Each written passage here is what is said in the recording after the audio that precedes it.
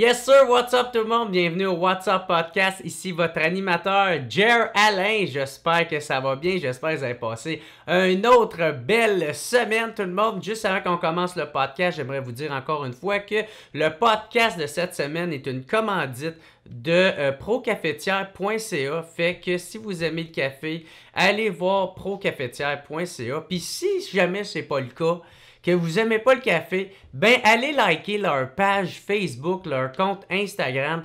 Euh, ils, commanditent le podcast cette année. Ils ont décidé de me faire confiance puis d'encourager le WhatsApp podcast. Fait que j'aimerais que vous leur ordonnez ça en allant liker leur page, en allant commenter leurs affaires. Hein, c'est du super bon monde. Moi, je vais souvent euh, à leur place, j'ai rencontre, puis c'est tout du bon monde. Puis euh, c'est une entreprise québécoise, familiale. Il n'y a rien de. Il n'y a, que des bonnes raisons d'aller les encourager comme eux autres ils font. Fait que c'est ça, si vous aimez le café, vous voulez une machine, hein, vous voulez vous euh, payer, vous gâter, ça fait des années que vous vous achetez de la café de merde, ben allez chez procafetière.ca puis vous allez en avoir pour votre argent. Fait que cette semaine, qui qu'on reçoit, c'est nul autre que Laurent Paquin. Euh, plus besoin de présentation. Laurent Paquin, qui est vraiment, encore une fois, Chris le fun qu'il soit venu sur le podcast parce que si c'était la troisième fois que je le recevais, on parlait encore de sujets super euh, euh, deep, euh, des sujets personnels. Puis encore une fois, Laurent, il s'est zéro défilé, il a parlé de ça, il nous a donné du, beau contenu, hein, et encore une fois, très transparent, fidèle à lui-même, il nous a livré ça. Fait que un gros merci à Laurent Paquin qui est venu parler un peu, entre autres, de son, de son nouveau spectacle Crocodile distrait et plein d'autres affaires, plein d'autres questions que j'ai demandé. Fait qu'un gros merci à Laurent Paquin d'être venu sur le podcast. Encore une fois, juste avant que je vous euh, euh, je vous laisse écouter ça. Juste vous rappeler que moi, je suis en spectacle avec mon nouveau spectacle. Hein, si vous voulez des billets, euh, j'ai plein de dates. Allez checker ça au jeralin.com. Le 15 mars, je vais être au Club Soda à Montréal. Et le 22 février, je vais être à l'Impérial Belle de Québec. Fait que pognez-vous des billets, tout le monde. Sinon, il y a d'autres dates au jeralin.com. Et aussi, euh, si vous voulez vous abonner, si vous aimez le podcast, vous voulez que ça continue, abonnez-vous au euh, patreon.com slash whatsapp podcast. Devenez membre. Euh, c'est pas bien cher. C'est 3-4 pièces Pour vous autres, ça fait pas grand-chose. Pour moi, ça fait toute la différence. Fait allez vous abonner ou sinon, abonnez-vous à mon compte YouTube. Ça va être super apprécié. Vous pouvez le laisser dans les commentaires. Si vous avez aimé le podcast, écrivez Crocodile Distrait. Puis euh, sinon, sur ça, tout le monde, je vous souhaite un excellent podcast. Un gros merci à Laurent Paquin. Merci à procafetière.ca. Puis sinon, on se revoit la semaine prochaine. Ciao!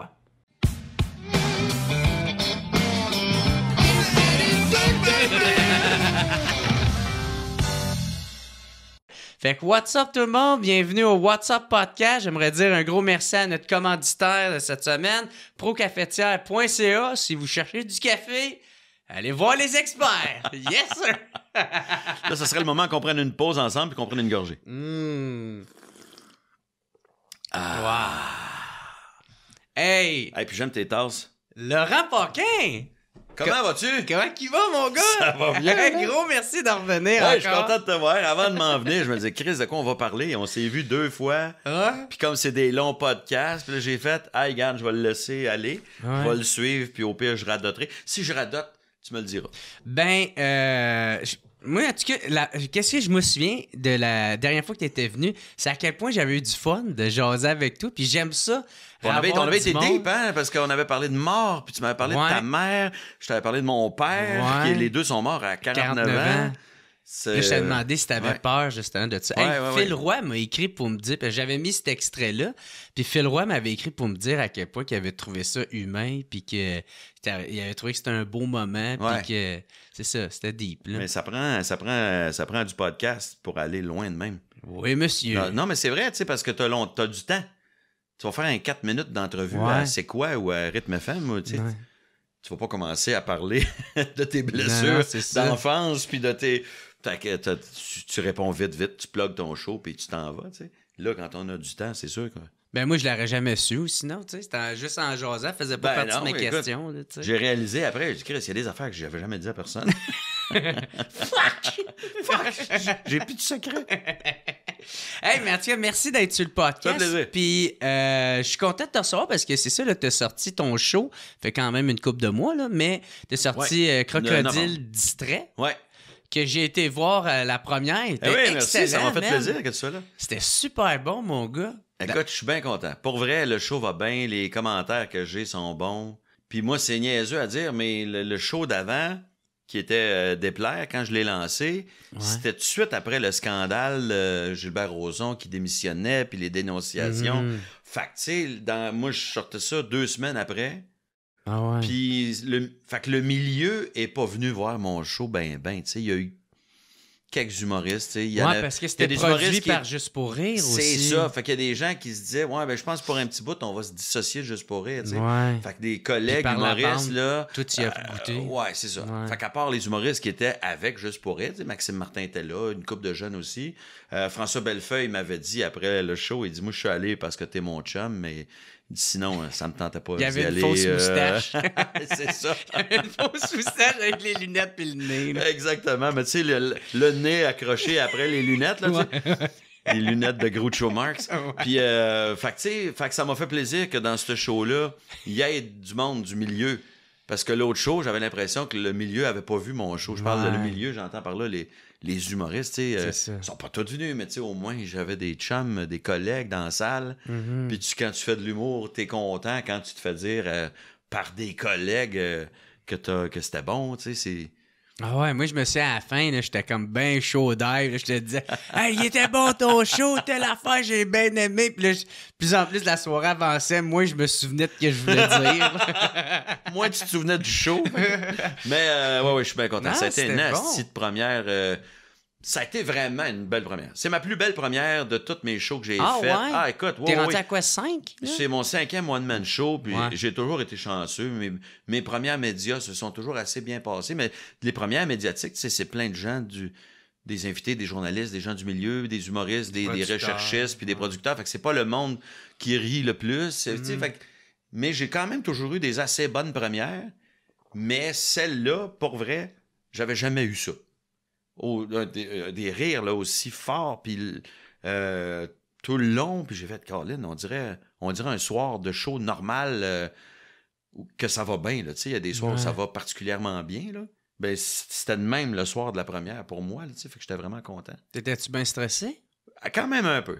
Ah ouais, même Ouais. après 5 Ouais, ouais, j'étais stressé, mais pas, ben, j'ai pas le trac. Tu sais, c'est pas la nervosité que tu vas pisser aux cinq minutes parce que t'es nerveux puis que tu te Mhm. demandes, ah mon Dieu, pourquoi, j'ai, pourquoi je fais ça dans la vie, pourquoi, j'ai, pourquoi je me fais souffrir de même? Moi, je vis pas ça. Mais il y avait un stress, il y avait un stress. C'est mon cinquième show. euh, tu veux que le monde aime ça, tu veux que. Tu veux que... Puis tu sais, moi, je, je, je, je- je- je connais des humoristes que le soir de leur première, ça a pas marché, pas en tout. Tu Ah tout- ouais? ouais, Ils se sont plantés? Ouais, j'ai, il y a longtemps. Je vais le nommer, j'espère que ça, ça y rappellera pas un mauvais souvenir, mais je me... Sylvain Larocque avait fait son premier one-man show. Ah, on parle d'il y a longtemps, là. Ça- à Montréal, ça avait super bien été. Puis quand il l'a fait à Québec, genre la semaine après, je sais pas pourquoi, il y a des soirs où on ne sait pas pourquoi, ça pogne pas. La mayonnaise prend pas, là, tu sais, ça, Ouais. ça lève pas, on ne sait pas pourquoi. Puis il s'était un peu pété la gueule à Québec, puis le soir, tu sais, puis là, tu fais, fuck, imagines-tu, ça nous arrive tout un soir où ça Ben pogne oui, pas. ça fait partie on ne sait pas pourquoi, mais là, ça tombe le soir de ta première. Fuck, tu sais. Fait que tu le sais pas. Tu dis, peut-être c'est à soir que ça lèvera pas, Asti. Ça fait 30 rodages que je fais, puis ça marche au bout. Mais on- Ouais. fait qu'on n'est jamais sûr que ça va marcher. Fait que oui, il y a toujours un stress. Puis avant le show, euh, je savais qu'il y avait des critiques. Puis, puis là, la presse, euh, la, la critique de la presse, c'était Jean Siag. Puis, euh, puis c'est un gars que je respecte, c'est un journaliste, mais c'est un gars qui a jamais tant que ça trippé sur l'humour. Chaque fois que j'ai lu des critiques de lui sur des affaires d'humour, chaque fois je me dis, eh, s'il aime pas l'humour, ce gars-là? fait qu'il m'a fait une bonne critique. J'étais content, mais dans ma tête, avant le show, j'ai fait vraiment fuck, c'est fini. Ah Il aimera pas mon show. Moi, dans ma tête, ce gars-là m'aime pas ou il aime pas l'humour. Fait que Ah. il va me planter. Mais Fait que t'es ça m'a ça ajouté un stress dont je me serais bien passé avant le show. Puis finalement, la critique a été très, très bonne, mais n'importe quel autre journaliste, je pense, aurait fait une critique encore meilleure. Ah ouais. Parce que euh, j'ai jamais... Écoute, j'ai jamais eu une première qui torchait comme ça. Jamais. Ça a été vraiment bien. Puis là, je sais pas si j'ai l'air fâché, là, tu sais, Jean ben pour vrai, euh, je l'ai rencontré, puis il est super fin. C'est juste que c'est quelqu'un qui a pas l'air d'aimer particulièrement les shows d'humour, tu sais. fait que moi, j'ai fait, quand j'ai su que c'était lui qui faisait ma critique, j'ai fait, ah ouais. Est-ce que, maintenant, ah, est-ce que tu penserais peut-être un jour de plus en avoir de première? Parce qu'il y en a qui commencent de plus en plus à faire ça. Ouais, t'as raison. Ben, ça, moi, je, je, me questionne souvent. C'est-tu si utile que ça? Une première. Tu sais, j'imagine que c'est important au début parce que tu veux te faire parler de toi, tu veux vendre ton spectacle, mais là, Je pense que ça dépend pour qui, en fait. Ça dépend qui, euh, qui lit les médias, les journaux. Parce que moi, mon public, je pense qu'ils lisent encore le journal ou ils écoutent encore les radios. Hmm. Parce que le lendemain, de la, semaine qui a suivi ma première à Montréal, j'ai vendu genre 6000 euh, billets. Juste dans la semaine, pour toute ma tournée. Puis quand j'ai fait ma première à Québec, j'ai vendu à peu près 5000 billets là, dans la semaine qui a suivi. Hmm. Fait, ah, ça vaut quelque chose. Après mes deux premières, celle de Montréal puis celle de Québec, il y a eu un pic de vente. Puis après ça, ça redescend un peu, puis ça se calme. je vends un bon beat, là, mais mhm. après les premières, ça a fait ça.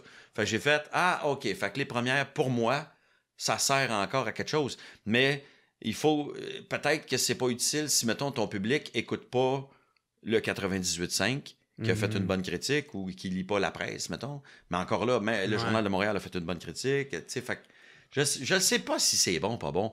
Moi, je pense que ce qui est plate, c'est que si les critiques sont so-so, ça peut nuire un peu ou ça changera rien, mais c'est juste un petit peu plate. Parce que toi, tu sais que ton show il est bon, mais ce soir-là, ça a moins bien été, ou tu as l'opinion d'une seule personne que lui ou elle n'a pas trippé, fait il y a un côté mm. frustrant aux premières médiatiques. moi, je considère que c'est comme une gageure que je prends. Mm-hmm. Je dis, on, va faire, on va faire une mm. première médiatique, puis on va souhaiter euh, que, que, que, ce soir-là, ça soit un bon soir. Puis, puis dis-moi si je me trompe, mais on dirait que les critiques, tu sais, tu as, des critiques qui sont comme des spécialistes en cinéma, d'autres euh, en théâtre, d'autres, euh, je sais pas, en musique, mais en humour. Il n'y en a pas vraiment. Je sais qu'il y a Dominique Tardif qui s'intéresse. Dominique Tardif, je pense qu'il s'intéresse à l'humour déjà, mais je pense aussi qu'il aime euh, l'humour. Mais tu sais, euh, Raphaël Gendron-Martin dans le Journal de Montréal. Oui, oui, c'est ça. Euh, il y avait Pascal Lévesque qui était dans le temps au Journal de Montréal, mais ça fait longtemps. Mais après ça, elle a fait des trucs, des chroniques radio. Mais spécialiste d'humour, d'humour, l'impression. Il n'y en a pas tant, non, tu as raison. Mais il y a des journalistes qui, à force de voir plusieurs shows, puis euh, en aimant l'humour, déjà, ils sont capables d'aller voir un show puis te dire c'est moins bon que tel autre show. Puis euh, sont, ils sont capables de dire, mettons, l'humour de cet humoriste-là est un peu dépassé. Les autres humoristes sont rendus dans d'autres genres de sujets. Ça, ça veut dire que. Non, mais tu comprends, ça veut dire que le journaliste a vu assez de shows d'humour pour te dire cet humoriste-là je fais une critique difficile, mais voici pourquoi. C'est parce mhm. qu'on a vu des meilleurs shows que ça cette année avec un tel, puis une mhm. telle, puis un tel, puis euh, ah, ça, c'est du vieil humour. Il faut que tu suives l'humour pour savoir que c'est du vieil humour. Tu fait Il y en a qui sont des bons. Moi, je trouve qu'il y a des très, très bons. Euh, Moi, j'aimerais ça un journaliste qui a déjà fait de l'humour, puis qui est pas amer, là. ouais, c'est ça. Quelqu'un qui a arrêté l'humour, euh, souvent, c'est parce qu'on lui a dit d'arrêter ou parce que ça marche pas. Ça se peut qu'il soit euh, amer. c'est ça, qu'il soit pas amer. Mais ce qui est, ce qui est, ce qui est le plus tough, c'est que je... Ben, il serait peu, comment, C'est border insultant, des fois, parce que tu dis... T'en verras jamais quelqu'un critiquer un opéra, quelqu'un qui aime pas l'opéra, mettons. Tu sais, tu vas critiquer un opéra, t'envoies quelqu'un qui connaît l'opéra, qui aime l'opéra, puis il va critiquer l'opéra en tant qu'expert mhm. qui a vu des opéras, puis qui peut dire que Verdi, c'est mieux que Mozart ou vice-versa. Mais en humour, je pense qu'on se sent pas mal d'envoyer un journaliste qui aime pas l'humour. parce, parce qu'on se dit, c'est pas grave, euh, l'humour, n'importe qui peut faire une critique d'humour. Il y a, y a comme quelque chose qui me dérange un peu là-dedans, dans le fait que ben, on, les critiques de cinéma, il y avait euh, Marc-André, euh, voyons, j'ai un blanc soudainement, le gars de la presse, Marc-André Lucier, c'est tout ça, désolé si je me trompe, mais lui, tu le sais que c'est un tripeux de cinéma, c'est un expert de cinéma. Marc Cassivi, il va à Cannes, il critique le cinéma depuis des années. Tu fais, on envoie Marc Cassivi critiquer un film. Tu peux être mm. d'accord, tu peux être pas d'accord, mais au moins tu dis, Chris, il, connaît, ça, il connaît son euh, cinéma. Il connaît son domaine. En humour, des fois, j'ai l'impression qu'on envoie le journaliste qui est pas en vacances parce que l'été, il y a des vacances. Puis là, l'été, c'est le festival. Puis là, tu fais, bon, ben, euh, euh, toi, t'as rien. Bon, ben, garde, tu vas couvrir les galas, tu sais. C'est arrivé. Il y, a, des soirs où c'était bien correct, tu sais, mais il y a des fois où tu avais vraiment l'impression que euh, le journaliste n'avait pas le goût d'être là. Puis moi, j'ai lu des affaires épouvantables sur des humoristes. Puis Je me disais, mon Dieu, t'écris pas ça, Ah ouais. Ah ouais, mais tu sais, regarde, tu fais bon. On, on est condamné à être un petit peu mal aimé, les humoristes, mais on gagne notre vie, on est riche, on fait des galas, nos salles sont pleines, tu, comprends? Fait qu'on fait pas pitié, on fera pas brailler personne parce qu'on a été écorché par un, par un journaliste, puis tu sais... Euh, on est donc sensible. On est, ben, on, est sensible. Eh oui. C'est normal, c'est qu'on est sensible des fois? Mais tu sais, tu te fends le cul, t'écris des jokes, tu rodes, tu mets tes trips à la table, puis tu arrives avec de quoi, puis tu as travaillé, puis tu te fais dire « Ouais, correct, mais moi j'aurais aimé ça mieux euh, de telle façon, puis de telle autre façon, puis t'as juste le, le, goût de dire fuck you, man, tu sais pas combien j'ai travaillé, esti. fait que, faut... Mais c'est correct ça. Je trouve que c'est correct. On a le droit de chialer. Moi, là, les gens qui disent Ah, tu prends pas la critique, ben, pas obligé de prendre la critique. Qui... Pourquoi faut prendre la critique? si moi je suis pas d'accord avec le critique, j'ai le droit de le dire, tu sais. Mm-hmm. Mais c'est vrai que je, en général, j'essaie de prendre bien la critique. Mais moi, quand quelqu'un est fâché d'une critique, je le comprends. Ben je me dis pas, ah, il prend pas la critique. Ben, ta gueule, toi, Chris. T'es qui, toi? C'est sûr. Qui, qui aime ça se faire dire que ça job, c'est ouais, ouais, c'est ça. Personne aime ça, tu sais. Euh, qui a dit que la critique était un jugement sans appel? Tu sais, si on te dit que ton show est pas bon, tu fais OK. J'ai compris, je vais changer. Tu sais, ouais, ben non, si, fuck you, t'as pas aimé mon show. Moi, j'aime, c'est un, un super bon show. Puis là, je parle comme, comme si j'avais été magané, mais mes, mes critiques ont été cœurantes. Pour vrai, ça a été vraiment. Moi, c'est pour ça que j'aime ça te réinviter. Parce que je m'emporte. Non, je t'ai posé une question. On fait 20 minutes avec. ouais, ouais, ouais, c'est ça. Moi, j'ai comme pas des contraintes de temps. À la radio, il y a quelqu'un qui te fait attention deux minutes, une minute, ouais. ça de même. Mais tout à l'heure, tu parlais de soirées qui n'ont pas levé. Moi, j'ai fait. Euh, mon, mon, show. Puis euh, je l'avais fait en rodage, tu sais, un peu. Puis ça avait comme super bien été. Tu sais, toutes les, les cinq rodages j'avais fait crissement bien été. Puis après ça, on fait comme, genre, dans le fond, la, première de la tournée. Puis euh, ça lève pas ça lève pas, tu sais. Puis il y avait une gang de filles euh, qui étaient là un peu en bachelorette, là, tu sais, de fêter un enterrement de oh, fuck. jeune fille. Mais pour eux, ils ont été super cool. Ah oui, OK, ben j'allais dire ça, ça doit être mais tu sais, Delino, il était là juste avant moi. Tu sais, le, le, beau noir cubain, là, tu sais, qui parle de fourré. Puis les filles étaient comme Wouh! Ah, ok, ouais, je vois Ça marchait au bout de moi qui arrive avec mes jokes politiquement incorrects. Quand j'ai embarqué avec Ah, c'est pas grave d'être laid. Hey, le, le, les filles, là, ça allait de moins en moins intéressant. Mais tout le monde tripait. Mais l'affaire, c'est que je me suis pas rendu compte que des, les filles ont commencé à partir en groupe de deux sais, parce qu'ils voulaient pas me déranger. sais, ils ont été super gentils, mais ils l'ont tellement bien fait que je me suis pas rendu compte qu'ils sont partis, mais toutes les autres dans la salle, oui. fait que là, ça crée le malaise, parce qu'ils sont comme, oh non, le monde quitte la. Oui, tout est occupé à travailler sur scène. Tu vois pas le monde nécessairement qui se lève. Des fois, la lumière fait que tu vois pas ce qui se passe, mais pour le spectateur qui voit deux, oh, deux filles, ils s'en vont. Ils s'en vont. Oui, il y en a deux autres qui s'en ah. vont. Là, tu fais, hey, c'est bon, ok, ouais, t'as raison. Ouais, le malaise, là, les, les, des, des bancs vides de quelqu'un qui, ah. qui. Non, non, euh, quand moi, tu commences à être trop conscient du monde autour de toi, là, tu, tu t'es Moi, ça m'aurait fait plaisir de, de l'adresser. Tu sais, j'aurais crevé l'abcès, on en aurait tout ri. Là, après ça, ça aurait reparti, là, tu sais, j'aurais recréé l'ambiance, puis j'aurais surfé sa vague. Mais un, qu'est-ce qu'il faisait là?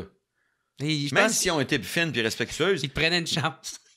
Ben, ben, oui, remarque, t'as raison, ça se peut, tu sais, où il y en a peut-être juste une dans la gang ou deux qui tripaient sur ton show, puis les autres ont fait, ben ok, on va y aller avec vous autres, mais peut-être que sur place, ils ont fait, moi, c'est pas mon genre. ouais, ça, c'est sûr que pour une première, c'est pas ce qu'on souhaite. oui, merde, je, comme, je finis le show, je fais, il me semble que ça a moins marché que d'habitude. Puis après ça, ma blonde a fait. C'est la première. Ben, c'est ça. Ma blonde a fait. Ouais, mais il y a une gang de filles qui est partie. Ouais, mais ça semblait aussi qu'il y avait un peu moins de monde. c'est une grosse table de 10, genre, là. Fait que, tu sais, ah, ça paraissait quand même. Puis. Hey, T'imagines 10 euh, d'une shot. Ils se lèvent puis ils sortent en même temps. Ça à la limite, ça aurait été quasiment mieux ça, parce qu'au moins, là, je l'aurais vu, puis je l'aurais adressé, tu sais ça aurait eu l'air d'un boycott. genre, il a fait une joke sur quelque chose, puis hein? on décolle. Toi, y a-tu déjà du monde qui, sont, qui ont quitté ton show? Peut-être, je sais pas. Ben, sûrement. Ben, tu sais, des fois, tu le sais pas, d'un show, tu vois deux membres, deux personnes se lever. Moi, j'essaie de pas trop euh, accuser le fait parce que je me dis, ça, ça va retarder mon beat. C'est ça le rythme du spectacle. J'ai pas le goût de couper mon beat pour dire, hey, allez-vous-en pas, je vais changer ou je vais m'améliorer. Tu sais, des fois, c'est drôle de, de, faire des jokes là-dessus, mais Mais tu sais pas, ils s'en vont juste aux toilettes ou ils s'en vont euh, une urgence, définitivement. Ou ils, ont, reçu un texto, maman est rentrée à l'hôpital, fuck, on s'en va. On, on le sait pas. Fait que des fois, j'essaie de pas trop faire de jokes. C'est comme les gens qui sont en retard ou comme les, gens qui, euh, qui rient bizarrement, puis tu veux faire une joke là-dessus, puis tu, ris, tu réalises que la personne est handicapée ou que tu fais Ah shit de merde. fait que ah, je veux tu veux pas te t'auto-planter, là, tu sais? Ben, c'est ça, tu sais. Puis, euh, mais, ou sinon, même des fois, quand il y a un peu de monde qui parle, tu sais, comme là, j'avais mon show à Gatineau, ça a tellement bien été, mais tu sais, des fois, il y en a qui qui commentent entre eux autres. Il est comme Ah ouais, c'est arrivé à Monique, en tout cas. Puis là, il recommence à écouter, mais ça peut arriver des fois que le monde parle un petit ah, peu. C'est lourd, ça. J'ai de la misère avec ça. Faut quasiment, ben, faut quasiment faire avec, par exemple. Parce que... Mais moi, depuis mon dernier show, l'autre avant, Déplaire, celui que je fais là, je, je, m'arrête jamais. Je m'arrête plus jamais. Parce que je me dis, mon beat il est rapide si j'arrête, je viens de casser mon beat. Ouais. Fait que, des fois, des gens veulent te parler pendant le show, tu sais, tu dis de quoi, puis ils commencent une phrase pour te répondre, tu sais. Moi, je laisse plus parler personne. ah, tu mitrailles, là. Je, je, mitraille tellement que des fois, je sens que la personne commence à parler, mais moi, j'ai déjà commencé ma phrase. Too bad, j'arrêterai pas. Je vais continuer ma phrase. Sais, les, les fois où la personne a réussi à parler à un moment où il y avait un silence, j'ai coupé la parole. Je disais, hey, j'ai pas le temps. j'ai continué. Parce ah que, en plus, au début de mon show, je dis que j'ai plus le goût de perdre du temps. Que, euh, y a des affaires que j'ai mm. plus le goût de faire parce que, fait que, fait que ça fit au bout, tu sais. Fait que si quelqu'un me parle, hey, excuse-moi, j'ai pas le temps. Puis là, je mm. continue mon show. Puis les gens rient parce que c'est un gag, puis ça, ça fait un callback sur ce que je dis au début du show. Fait que c'est parfait. Mais mm. euh, dans ma tête, à moi, je dis, hey, je veux pas casser mon beat euh, pour quelque chose. Ben ça, tu sais, dans le show Déplaire, justement, on voyait que c'est ça, t'étais plus toi-même, tu sais, tu étais libre d'être plus vulgaire ou juste d'être vulgaire, tu sais. Ouais, ouais. J'ai toujours des jokes avec. J'ai toujours eu des sacres, un peu de vulgarité, mais pas tant. Puis dans Déplaire, c'était plus euh, un petit peu plus euh, rock'n'roll, ouais. Puis dans celui que je fais là, Crocodile Distrait. Euh, c'est la même lignée. C'est dans la même piste. J'ai l'impression que j'ai comme tapé la trail pour le pour les shows à venir. J'ai l'impression que j'ai l'impression que c'est le ton que j'ai le goût d'avoir. C'est comme ça que j'écris mhm. aujourd'hui. Euh, mais c'est pas tant que je veux être plus vulgaire, c'est juste que je m'empêche pas de l'être. Alors qu'avant, je m'empêchais ou j'avais mon. Des fois mon gérant qui me disait euh, Il me semble qu'il y a beaucoup de sacres, j'en enlèverais deux, trois. Puis, euh, puis des fois, je faisais OK, ouais, peut-être je sac trop. Puis à un moment donné, je m'enlevais des sacs. Puis, puis à un moment donné, j'ai décidé hey, les sacres, je m'en fous. J'ai le goût de sacrer. Je vais sacrer, là. Parce, que dans la vie, je sacre. Tu sais, je, je suis pas. Euh, je sacre moins sur scène que dans la vie. Fait que je me dis, je fais un effort quand même pour moins sacrer. Mais comme, mon, puis comme mon, personnage de scène, il est, il est pas mal tout le temps un, peu fâché. Ben, quand je suis fâché, moi, je dis pas, ça perd les popettes. Euh, ça va être minimum Chris. Voyons, ça va être un tabarnak. je, trouve ça, je trouve ça utile. Puis moi, les sacs, je trouve pas que c'est. Moi, je crois pas en Dieu. Fait que tu comprends, j'ai pas l'impression mm. d'offenser euh, Jésus puis de faire pleurer euh, la Vierge Marie. Fait que euh, je m'en calisse. puis là, tu sais, un cinquième show, t'as-tu de la misère à, trouver de quoi que t'avais à dire ou de quoi que tu voulais parler? Pas tant, c'est pas si pire, non, ça a été pas si pire. Parce qu'il y a quand même eu du temps entre le show puis entre les deux shows. Tu sais, Déplaire, quand je l'ai fini, c'était juste, juste à vers la fin de la pandémie, en fait. Quand la pandémie est arrivée puis qu'ils ont euh, arrêté les shows, il me restait genre 10 représentations de déplaire, tu sais. J'allais finir. Fait que là, moi, j'avais déjà commencé à écrire deux, trois jokes. Euh, j'avais un petit bit, j'avais un numéro qui se pouvait, là, tu sais, tranquillement pour le prochain show. J'aime ça, mhm. avoir un peu d'avance, tu sais. Ouais. Puis euh, quand on, après ça, on a refait les 10 shows qui manquaient pendant la pandémie devant des salles euh, en distanciation. Puis à la fin de la tournée, on a fini. On a capté le show devant 200 personnes euh, ah, dans, une salle de 900 places. Mais, ah, mais ça avait bien été, pareil. Ça avait été le fun quand même. Fait que, euh, fait après ça, tu sais, toute la pandémie, moi, j'ai fait des shows virtuels. J'ai fait des shows pour essayer de faire un peu d'argent quand même. Mais juste pour rire, prenez pas de cote sur ce show-là mais à condition que je fasse pas du stock de déplaire. Fait que j'avais pas le choix d'écrire du nouveau. Fait que pendant la pandémie, j'ai écrit sûrement un bon 40 minutes, 45 minutes de nouveau stock. Puis pour quand pouvoir la faire pandémie, tes shows en, en Pour pouvoir faire mes shows. Fait que, puis je piochais dans du très vieux stock. J'avais pogné un de mes anciens numéros de gala euh, qui était, que je trouvais encore bon puis qui était pas brûlé. Puis là, je, fait que je m'étais bâti un show d'une heure qui se pouvait, tu sais. Puis quand la pandémie a été terminée, puis qu'on a recommencé à jouer, puis que j'ai lancé mon show, ben j'avais déjà une quarantaine de minutes d'écrit. J'en ai jeté peut-être 20 minutes là-dessus, mais au moins, mhm. quand je partais, j'avais déjà du stock, puis je l'ai écrit euh, tranquillement. Mais les sujets, ça n'a pas été si tough à trouver.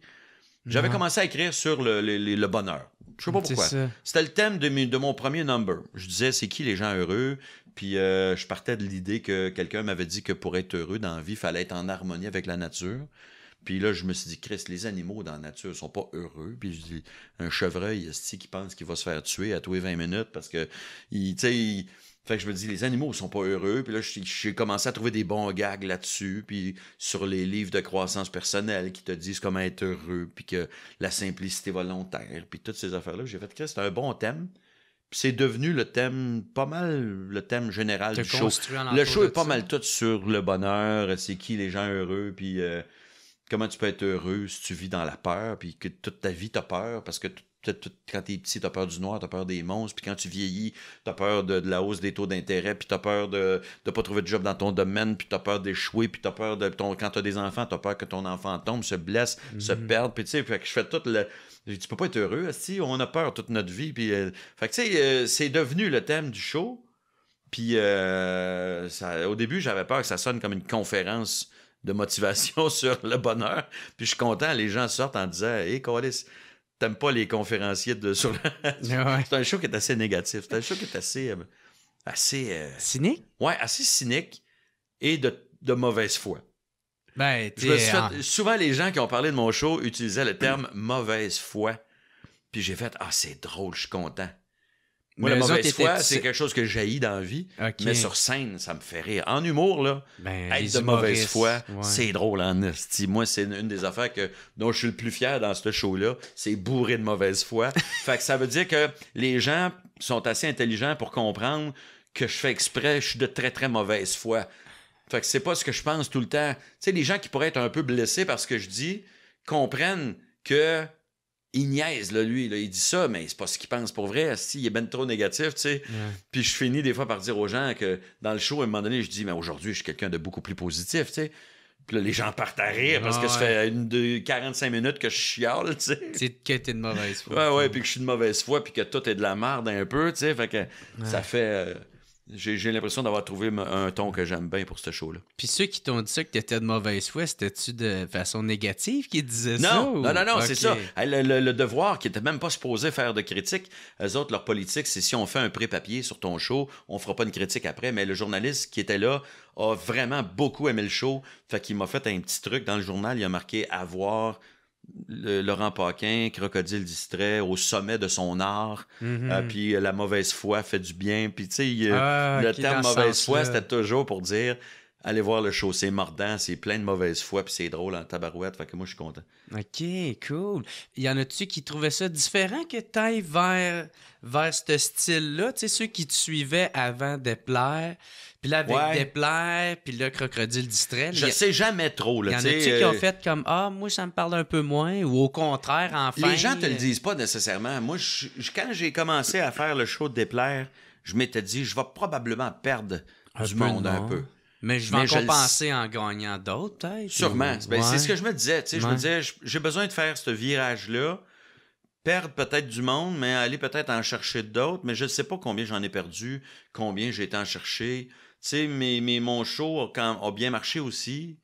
Fait que j'en ai peut-être perdu, mais je sais jamais. Les gens m'écrivent. Tu vois, il y a un monsieur qui m'a dit euh, euh, récemment, là, euh, il me parlait de son père qui a 90 ans, tu sais, qui, qui, m'aimait beaucoup, tu sais. Je dis, ouais, puis il m'a dit, euh, j'aimerais ça, il donnait deux billets. J'ai fait, OK, ça, ouais, ben oui. Je dis, mais son père, qui m'aime beaucoup, qui a 90 ans, là, il m'a-tu juste vu à la TV quand j'anime des galas juste pour rire? Ouais. Puis que je suis super clean, puis que je ris de la politique, puis que, tu sais, je reste dans le propre, là, tu sais. je dis, peut-être qu'il n'aimera pas mon dernier show, ton père de 90 ans, là. S'il m'aime parce qu'il trouve que je suis pas vulgaire, puis que je sac pas trop, peut-être que quand il va voir mon show, il va faire Oh, Colin, c'est pas ce que j'avais pensé. Fait que je ne sais pas, les, les, les, les tu gens. l'achever. Je vais peut-être. va peut-être l'achever, ton père. Ouais, je sais, c'est pour ça que je te donne des billets, justement. il est riche, puis on, a besoin de l'héritage. On veut l'achever. Fait que euh, c'est dur de calculer combien on gagne du monde, combien on en perd. Ce que je sais, c'est que il y avait beaucoup de jeunes, moi, qui commençaient à. Les jeunes, plus j'avance dans le temps, plus les jeunes me connaissent pas. Puis j'ai eu l'impression récemment que beaucoup de jeunes me disaient Oui, je t'écoute. Ah oui, je t'ai trouvé bon. Tu sais, à cause, peut-être à cause de LOL. Hmm. Il y a comme plein de jeunes de 20 ans qui me connaissent juste à cause de LOL. L'émission. L'émission, l'émission euh, ah, de, qu'il faut pas rire, là. Mais il me semble que tu as fait une apparition. LOL. Moi, j'ai gagné LOL la première saison. Ah, OK. Ah oui, j'ai gagné ex avec euh, Richardson Zephyr. Ouais. Puis cette émission-là, je savais pas. Moi, quand je l'ai faite, c'était sur Prime. Amazon Prime. Qui va écouter ça? Personne va écouter ça. Mais Christy, je me fais des jeunes de 20 ans. Ah, qui ont euh, trippé? Ouais. Patrick Huard me disait Ma fille écoute l'émission avec ses chums. Ils ont tous 20, 22 ans puis on dit que tu étais un des meilleurs. Puis, puis euh, j'étais sur un, plateau, euh, je tournais quelque chose, puis le maquilleur devait avoir 20 quelques années, il était tout jeune, tu sais. Il me maquille, puis à un moment il me dit, il me regarde, puis t'étais-tu dans LOL? Puis j'ai fait, oui, oui, j'étais dans LOL. Il dit, ah, c'est là que je t'ai vu. il me connaissait pas ailleurs. Il m'avait juste vu dans LOL. J'ai fait Ah, Simonac. Ah hey, on est-tu rendu ailleurs? Un clash de les... Ben oui, les, euh, c'est la grosse différence aujourd'hui. Moi, quand j'étais petit, quand on avait 20 ans, nous autres, quand on avait 10 ans, 12 ans, on écoutait les mêmes émissions que nos parents. C'est ça qui jouait dans le salon. même si t'aimais pas le temps d'une paix, puis euh, Terre humaine, euh, je sais pas si tu te rappelles de ça, toi, Terre humaine, mais en tout cas, c'était des téléromans que ma mère écoutait. Bon, mais moi, je les écoutais pas, mais je connaissais ça. À cette heure, les jeunes qui aiment pas les émissions, ils écoutent pas. Ils s'en vont, ils ont le tablette, ils vont écouter d'autres choses. Fait que si t'écoutes plus la TV, comment tu peux connaître Laurent Paquin? Mm-hmm. C'est sûr que tu connais pas Laurent Paquin à moins d'être vraiment actif sur les réseaux sociaux, ce que je ne suis pas. Fait que, tu sais, ça, me fait bizarre. Des jeunes ne savent pas qui je suis. Ben, les jeunes, des jeunes ne savent pas qui je suis, là, tu sais. C'est drôle, ça. Puis là, y a-tu une, une, pensée, ma tante, d'un fois, quand tu fais quelque chose de Ah, peut-être là, je pourrais essayer de rejoindre les jeunes. Ou ah, je préfère essayer un projet pour. Ouais, j'essaye de pas trop. Parce que j'ai l'impression que quelqu'un qui veut rejoindre les jeunes, ça va paraître. Moi, il n'y a rien tu de Tu vas commencer à parler comme Jocelyne de Radio Ampère. Yo, les jeunes top cool! Ouais. là, j'ai les kettles l'autre bord du fudge. Ah c'est drôle, ça me faisait beaucoup rire. mon père m'a dit l'autre fois, il me dit « Ah ouais, je suis vraiment in. » Je fais Vraiment in. Oh, Là, tu dis non, euh, dans le sens qu'il était euh, willing, il, était. Il est partant, il est willing. Il est partant, ouais, ah, ouais. c'est down. Ah, moi, les premières fois que j'entendais down, je faisais t'es down, t'es pas content, t'es triste. T'es, moi, ah, moi, pour moi, être down, ça voulait dire je suis déprimé. Là, Puis à un moment donné, ah non, non, je suis down. Je suis partant. Je suis partant, je suis down.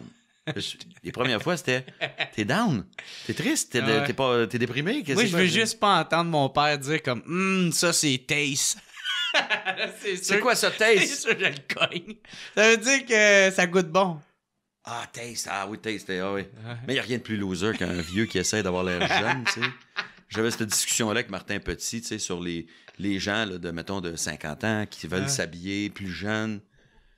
Il dit... Il y a de l'auto-bronzant? Il n'y a pas un jeune qui regarde un vieux puis qui dit Ah, lui, il est cool, il est habillé comme nous autres. Ouais. Personne faisait dit ça. T'as juste l'air un peu pathétique. Fait que non, je me dis pas, il faut que je rejoigne les jeunes. Mais j'y pense pareil. Puis je me dis, je, vais continuer de faire ce que j'aime faire, mais je peux peut-être essayer de trouver des plateformes qui vont rejoindre les jeunes. Ouais, c'est ça. Fait que, mettons, TikTok, je suis pas assez, je suis pas encore actif, mais j'ai quand même pas mal d'abonnés sur TikTok. J'ai des vidéos qui ont pas mal de réactions. contenu là-dessus. Je mets un peu de contenu là-dessus, mais je suis pas, euh, j'ai pas le réflexe. Fait que c'est ça qui me nuit. Mais je fais pas du contenu pour les jeunes. Je fais du contenu. Je, me, je le fais pas pour les vieux. Je le fais, je le fais pour moi. Tu sais, je, je pense à ce qu'est-ce que j'aimerais dire. Mhm. Puis je le fais, je m'en calisse que ce soit pour les jeunes ou pour les vieux. Fait que, mais si je le fais sur TikTok, je sais que je rejoins les jeunes. Si je le fais sur Facebook, je rejoins les plus vieux. Mhm. Instagram, je le sais plus trop. Là. Twitch non plus. Mais tu sais, je me. J'aimerais ça être un petit coche plus actif. J'ai pas le réflexe. C'est ma blonde, des fois, qui me dit Ben, filme-toi donc. Prends-toi une photo, mets ça sur tes réseaux sociaux. Puis je fais, ouais, t'es sûr? Ça, c'est pas intéressant. Elle dit, ben oui, les gens aiment ça, tu sais. J'ai pris une photo. Hey, j'ai fait une photo d'une tourtière du lac Saint-Jean. Puis j'ai dit aux gens, moi, je fais une tourtière à chaque année. C'est une tradition que je me suis instaurée il y a une couple d'années. Puis je dis ça, chaque année, une tour tradition, je me fais une tourtière du lac Saint-Jean. Hey, man, j'ai dû avoir 600 euh, réactions, de commentaires, puis de tout, là, puis des gens qui donnaient leurs recettes, puis des gens qui me demandaient T'es-tu sûr c'est pas un cipote, là? Puis ah, c'est une vraie tourtière ou c'est un pâté à viande? Puis tu sais, écoute, même. Là, ça devient controversé. je me serais fendu le cul à écrire un sketch avec des textes, puis de la réalisation, j'aurais eu huit commentaires. Là, je pose une tourtière, Esti, puis j'ai 600 commentaires. Mais c'est mais ça mais je critique pas ça, c'est drôle, c'est juste que le jour où tu comprends ça, tu fais Ah, OK, c'est ça qui intéresse le monde. ouais. Mais c'est correct. La nouvelle game. Oui, oui. Je, prends des photos de ma bouffe des fois. Pas trop parce que je veux pouvoir rire de ça sans que les gens me disent ah, Tu le fais toi aussi. ouais. Ben, c'est un peu ça. on est rempli de contradictions aussi. oui, tu sais, j'aime bien ça. Tu vois, là, récemment, je, faisais, je parlais, je trouvais que les, les, les, jeunes humoristes avaient beaucoup de jokes sur leurs grands-parents racistes. Ouais. Tu sais, dans une soirée d'humour, je vois, mettons, cinq humoristes, puis il y en a trois que leur grand-père est donc raciste. Puis là, je me dis, ça devient euh, pas original de taper ces boomers, tu sais. Mhm. Mais là, dans le texte que j'écris présentement, je parle de ma grand-mère raciste. Tu sais, fait que tu vois, je, sais pas, tu sais, des fois on chiale, puis mais finalement on fait la même affaire. Tu sais, tout à l'heure, quand on parlait de mauvaise foi, il y en a pas mal là-dedans parce que, tu sais, euh, ben oui, effectivement, c'est souvent du monde d'une autre époque, mais il y en a là-dedans qui sont quand même très libérales, sais, dans le sens que c'est eux autres qui ont manifesté dans les rues pour justement que tu aies un congé de maternité ou de quoi de même. Tu sais, fait ouais, pas les traités de, de ci puis de ça, mais il y a des affaires qui sont très progressistes qu'aujourd'hui on prend ça pour acquis, mais que, qui étaient acquis par ces personnes-là, justement, qui se sont cassés le cul, tabarnak. Ben, c'est ça, ben, c'est les boomers, ils ont les défauts qu'ils ont, puis mais c'est vrai, il faut, il faut regarder aussi qu'est-ce qui, comment c'était la génération avant. Eh avant les boomers, là, le parent, c'était la religion, puis l'église, puis eh tu vas à la messe, puis euh, la femme reste à la maison, puis euh, si tu touches la zone, tu vas en enfer, puis, euh, puis à un moment donné, les boomers sont arrivés avec la pilule anticonceptionnelle, la liberté sexuelle, puis on fait ce qu'on veut, puis fuck la religion, puis mm-hmm. on sépare l'église de l'État, puis c'est, c'est énorme comme step, là, tu sais, fait que c'est sûr qu'aujourd'hui, nous autres, tout ça, c'est fait. Fait qu'on y pense plus. Fait que là, on leur dit, ouais, là, moi, c'est il, c'est pas elle, puis c'est yel, puis tu sais. Puis je, comprends, je comprends les, les yel, puis tout ça, là, mais tu sais, je veux dire, faut pas en vouloir à ta grand-mère tant que ça. Chris, ça est d'une génération qui a pas connu ça. Puis si t'étais né à la même époque qu'elle, tu serais pareil aussi. Ah tu sais, euh, critiquer les générations d'avant, c'est normal. On évolue, on regarde les défauts que les autres ont eu avant on les dénonce, mais ultimement, euh, garde-toi une petite modestie dans le sens que si tu étais né en 1948, t'aurais la mentalité de quelqu'un qui est né en 1948. Fait que fais-nous pas la morale parce que toi, t'es né en, 1997. Là, tu sais, t'es pas une meilleure personne. T'es juste né à une époque plus évoluée. Les mentalités ont, évolué, tu sais. Fait que moi, mettons un commentaire de, de vieux monsieur qui, utilise encore le mot en haine, tu fais, il est peut-être pas raciste, il est peut-être juste un peu un peu en, retard d'une couple de, décennies, là, mais ça se peut, tu sais.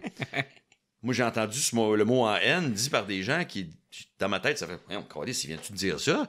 Mais la phrase de la personne n'avait rien de méchant, c'était juste, tu sais, la personne disait le mot, mais c'était pas, le, contenu de la phrase n'était pas raciste. Mais tu fais, tabarnak, il a, il a vraiment dit ce mot-là.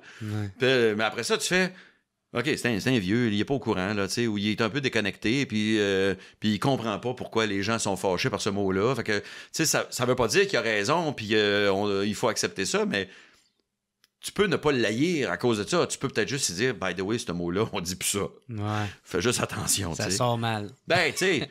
c'est comme une, comme une personne, euh, comme, les, comme les personnes trans, c'est plus facile quand tu es jeune de t'habituer à dire il alors qu'avant, tu disais elle pour la même personne, puis là, tu fais Ah non, c'est lui maintenant. Puis tu fais Bon, ben c'est lui, moi, moi j'ai pas de trouble avec ça, mais, ça se peut que le, grand-père dise encore elle, puis non, non, grand-papa, c'est lui. Puis il fait Oui, oui, excuse-moi, je me mélange tout le temps. Ben oui, t'as raison, t'as raison. Euh, mais il a, pas de mauvaise personne, il est juste un peu en retard. Tu sais, c'est pour ça que des fois, je trouve qu'on est dur un peu avec les vieux Ben moi, j'ai juste bien de la misère avec le, le, monde qui pointe les autres du doigt, tu sais.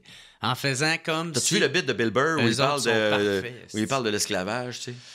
Euh, c'est dit... dans son dernier show. Euh, je me rappelle plus c'est dans quel show, mais il parle de ceux qui disent Moi, si j'étais né en 1800, je sais pas c'est quoi les, ah, les, dernières années de l'esclavage, moi, j'aurais cueilli moi-même mon coton, j'aurais pas eu d'esclaves, moi, j'aurais été libéral, puis moi, j'aurais été, puis tu fais fuck you, t'aurais fait exactement comme tu fais aujourd'hui, c'est-à-dire rien. Ah fait que tu fais. Ça, prends, une petite dose de modestie, là. Tu sais, t'es, es né aujourd'hui, t'es bien chanceux d'être ben, né aujourd'hui. Fait que, On va revenir avec ton show. Euh, Crocodile distrait. Ouais. Pourquoi tu appelé de même? Ah, c'est un peu un, parce que je, trouvais le titre sympathique et drôle. Puis je trouvais que c'était un titre original. Puis je me disais, ça va piquer la curiosité. Les gens vont se dire, Crocodile distrait, qu'est-ce que c'est ça? What the fuck? Pourquoi? Puis tout le monde me demande pourquoi. Puis, puis j'ai, c'est beaucoup pour ça. OK. Puis c'est puis dans le show, je parle du crocodile distrait qui est une la première blague que j'ai inventée quand j'étais petit. J'ai inventé une joke j'avais 5 ans puis c'était l'histoire du crocodile distrait. Puis euh, dans mon show, je, parle de tout ça à un moment donné. Fait j'ai fait je vais appeler ça crocodile distrait, mais j'en parle pas pendant tout le show. Puis à un moment donné vers la fin du show, je raconte l'histoire du crocodile distrait que j'ai inventé quand j'étais mm-hmm. petit. Fait que le titre, c'était beaucoup pour piquer la curiosité puis parce que je trouvais que c'était beau comme titre, je trouvais ça original. Puis je trouvais aussi que euh, ça faisait changement. Tu sais, je vois beaucoup de shows. À un moment donné, il y a eu des modes d'un titre de show de donner un adjectif, tu sais. Ah, comme euh, euh, imparfaitement parfait. Ouais, ouais, ben c'est ça. Tu sais, mon show va s'appeler imparfait. Mon show va s'appeler euh, tannant. Mon show va s'appeler mordant. Mon autre show va s'appeler incisif. Puis l'autre va, tu sais, puis c'est pas mauvais, tu sais. Je veux dire, Mike a eu un show qui s'appelait haïssable, tu sais. Puis Guillaume Wagner, cinglant. Cinglant, tu sais, c'est ça. Fait que je mets, bon, OK, tous les, adjectifs, là, ont été utilisés, là. Ah, j'aurais pas su quel adjectif. J'aurais mis chronométrable. je sais pas. Trouver un adjectif. Fait que j'ai fait, bon, je vais y aller avec une affaire que personne n'a faite. Déplaire aussi, je trouvais que c'était le fun. C'est un verbe à l'infinitif. C'est drôle de, Moi, je trouvais que c'était original. Déplaire. Au lieu de dire déplaisant, ça va être déplaire le show. Puis là, Crocodile distrait, je vais te crier, il n'y a personne qui a un titre de même. Mm-hmm. Là, s'il y a quelqu'un qui lance un album puis que ça s'appelle, ça s'appelle euh, Chevreuil taquin, là, je vais faire mon tabarnak. Là. Mais, Plagiat! Plagiat! là, je viens de partir la, mode des animaux avec un adjectif.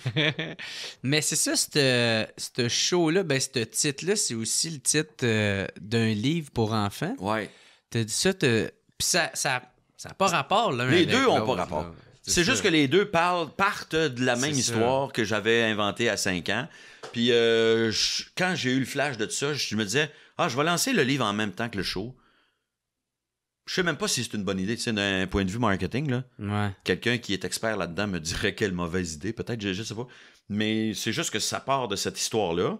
Puis j'ai fait le show, puis j'ai fait le livre, qui est vraiment un livre pour enfants. Là. c'est pour les tout petits, c'est puis préscolaire. Là c'est pour les enfants de 0 à, 6-7 ans. là, euh, genre à, l'âge où tu lis pas encore, puis c'est ta mère ou ton père qui lit l'histoire. Ou quand tu commences à lire, puis c'est tes premières lectures, après ça, déjà, c'est trop bébé pour toi. C'est vraiment l'histoire d'un petit crocodile qui se trompe, qui met de, la moutarde dans son café, puis du sucre dans son hamburger, puis qu'il mhm. il, arrose son chien, puis il flatte ses fleurs, tu comprends? Il est distrait. Fait que c'est, évidemment, c'est des petites affaires qui font rire les enfants, tu sais. Mais, mais le livre marche euh, vraiment bien, pour vrai. Ah ouais? les enfants rient. Des parents m'envoient des petites vidéos de leur enfant qui lit le livre, puis qui trouve ça drôle, ou l'enfant qui dit à sa maman « Ça se peut pas, hein? ça, Moi, ça me fait beaucoup rire. Je trouve ça bien le fun. Puis pourquoi ça t'est venu, cette idée-là? Ou pourquoi tu as décidé de la faire, cette idée-là? J'ai arrêté de, de, m'empêcher de faire des affaires à un moment donné. Tu sais, j'ai sorti un album de chansons euh, sérieuses mm-hmm. pour aucune bonne raison, là, tu sais à part que ça me tentait. Mm-hmm. Fait que le livre pour enfants, j'ai fait, hey, ça me tente. Je trouve ça, moi, j'ai inventé cette histoire-là quand j'avais 5 ans, puis je trouve ça cute de penser que à cette heure, il y a des enfants de 5 ans qui lisent ça chez eux. Euh, des gens à qui j'ai donné le livre des amis ou des, connaissances euh, me disent Hey, mon enfant tripe sur le crocodile distrait. Quand j'y demande quel livre tu veux qu'on lise, il veut lire le crocodile distrait. Fait que je trouve ça cute de penser que avant de s'endormir le soir, il y a des kids qui se font lire mm. l'histoire du crocodile distrait. T'en lisais-tu à tes enfants, toi? Bah oui, je lisais des livres. Euh, qu'est-ce que t'as envie de lire à soir, là, le, mon fils? Mon fils, il y avait un personnage qu'il aimait beaucoup qui était Frisson l'écureuil qui était un écureuil un peu psychorigide, là, qui aimait pas sortir de ses habitudes. Puis là, quand il arrivait des affaires imprévues, ça, il capotait, puis là, il prévoyait tout d'avance, un peu. Puis mon fils était un peu comme ça. Fait que j'ai l'impression qu'il se reconnaissait un peu dans le ah. dans Frisson l'écureuil, tu sais. fait que ouais, ouais, c'était, mon fils, c'était Frisson l'écureuil. Ma fille, c'était plus varié. Lisait un peu plus de tout, là. Fait que, euh, puis là, je vais écrire un autre livre. Je suis en train d'écrire un autre livre. C'est un tome 2? Euh, ça va être un tome 2. Ça va être le crocodile distrait. Euh, il va y avoir d'autres histoires, d'autres aventures. Là, ah, c'est cool. Ouais, ouais, je suis en train de le finir. là, là Je me il est quasiment fini. Il faudrait juste que je me botte le cul pour le finir, là, parce que c'est genre 28 pages, puis chaque page, c'est une phrase. C'est c'est court, là, fait ben c'est pas comme si c'était exigeant. Moi, c'est le genre de livre que je lis souvent. C'est parfait. S'endormir le ben soir, là, quand t'as un 5 minutes à tuer, ça se lit de même. Des gens qui venaient au salon du livre, puis qui venaient euh, le le faire signer. Il dit C'est très bon, je viens de le lire. il l'avait lu en attendant dans le film. Ben oui. Puis t'étais ému quand t'as reçu la boîte? Ouais. La boîte de livres? Ouais, ouais, ouais. Ben, c'est beau. Tu sais, j'ai compris le feeling. J'avais vu des, des, des, euh, des vidéos de, de, unboxing de gens. j'ai reçu ma, ma, nouvelle patente. Là, les gens qui ont du merch. Puis moi, j'ai jamais eu beaucoup de merch dans la vie. sais. Puis là, j'ouvre le livre. Je dis que c'est beau. c'est pas mes dessins, c'est les dessins d'Éric Godin parce que je voulais faire faire ça par quelqu'un qui est un vrai euh, dessinateur, tu sais. Puis c'est le crocodile, il est beau, il est cute, euh, les couleurs sont belles, c'est pas trop gnangnan comme dessin là, tu sais, pour les enfants, mais c'est beau, il y a quelque chose d'artistique dans le dessin, fait que wow, je t'ai ému. Ah c'est un beau livre. Puis c'est ton, ton, ton histoire, tu l'as écrit, c'est mon petit personnage que j'ai inventé quand j'avais 5 ans, c'est c'est tout ça là, tu sais, c'est hey, j'avais 5 ans j'ai inventé un crocodile distrait. Fait quand les gens de ma famille ont su que je faisais ça, ils ont tous trouvé ça drôle. J'ai pris une photo du livre, je l'ai envoyé à ma mère pour qu'elle sache, garde l'histoire que je racontais, que j'étais fatigant, parce que je racontais ça dans tous les Christy Party. Mais en même temps, c'est mon père qui me disait Ouais, sais, viens raconter l'histoire du crocodile distrait. Puis c'est très drôle. Fait que ça, ça, ça, ça a plein de niveaux là, de, de touchant pour moi. Là, ouais. Puis pour ton show de, Crocodile Distrait, euh, est-ce que c'est dans le rodage qu'il y avait Yvon Deschamps? Qui est venu au show? Ouais. Ouais, en fait, c'était un rodage parce que c'était avant la première, mais le show était rendu pas mal en version euh, pas mal pas mal finale, tu sais. C'était en Floride. Quand il est venu voir le show, c'est parce qu'Yvon, euh, il passe une partie de l'hiver en Floride avec Jody. il y a une maison là-bas ou un condo, je sais pas, je suis pas allé, mais c'est il est là euh, après les fêtes, une couple de mois, là, une couple de semaines. Puis euh, il va voir les shows quand il, euh, quand il a l'occasion. Fait que ouais, ouais, ouais, c'est ça. Puis toi, tu faisais des shows en Floride? Ouais. Il y a un gars, un producteur québécois qui s'appelle Jean Foran, qui a une place, une salle qui s'appelle le Club Tropical. Puis c'est une salle qui a l'air d'une grande salle paroissiale. Ils mettent des tables, les gens soupent sur place. Et le concept, c'est vraiment tout le temps souper et spectacle. Fait que les billets, c'est, je me rappelle, je sais pas combien c'est, mais les gens, ils ont le souper, puis après ça, ils restent, puis ils regardent le show. Puis, euh, puis c'est le fun, pour vrai. C'est des super bons publics.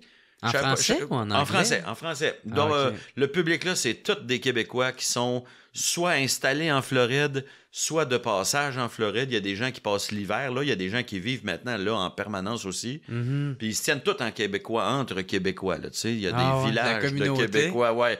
tu vas voir un quartier, là, c'est plein de petites maisons. On dirait des mini bungalows. Ah là. C'est tous des Québécois.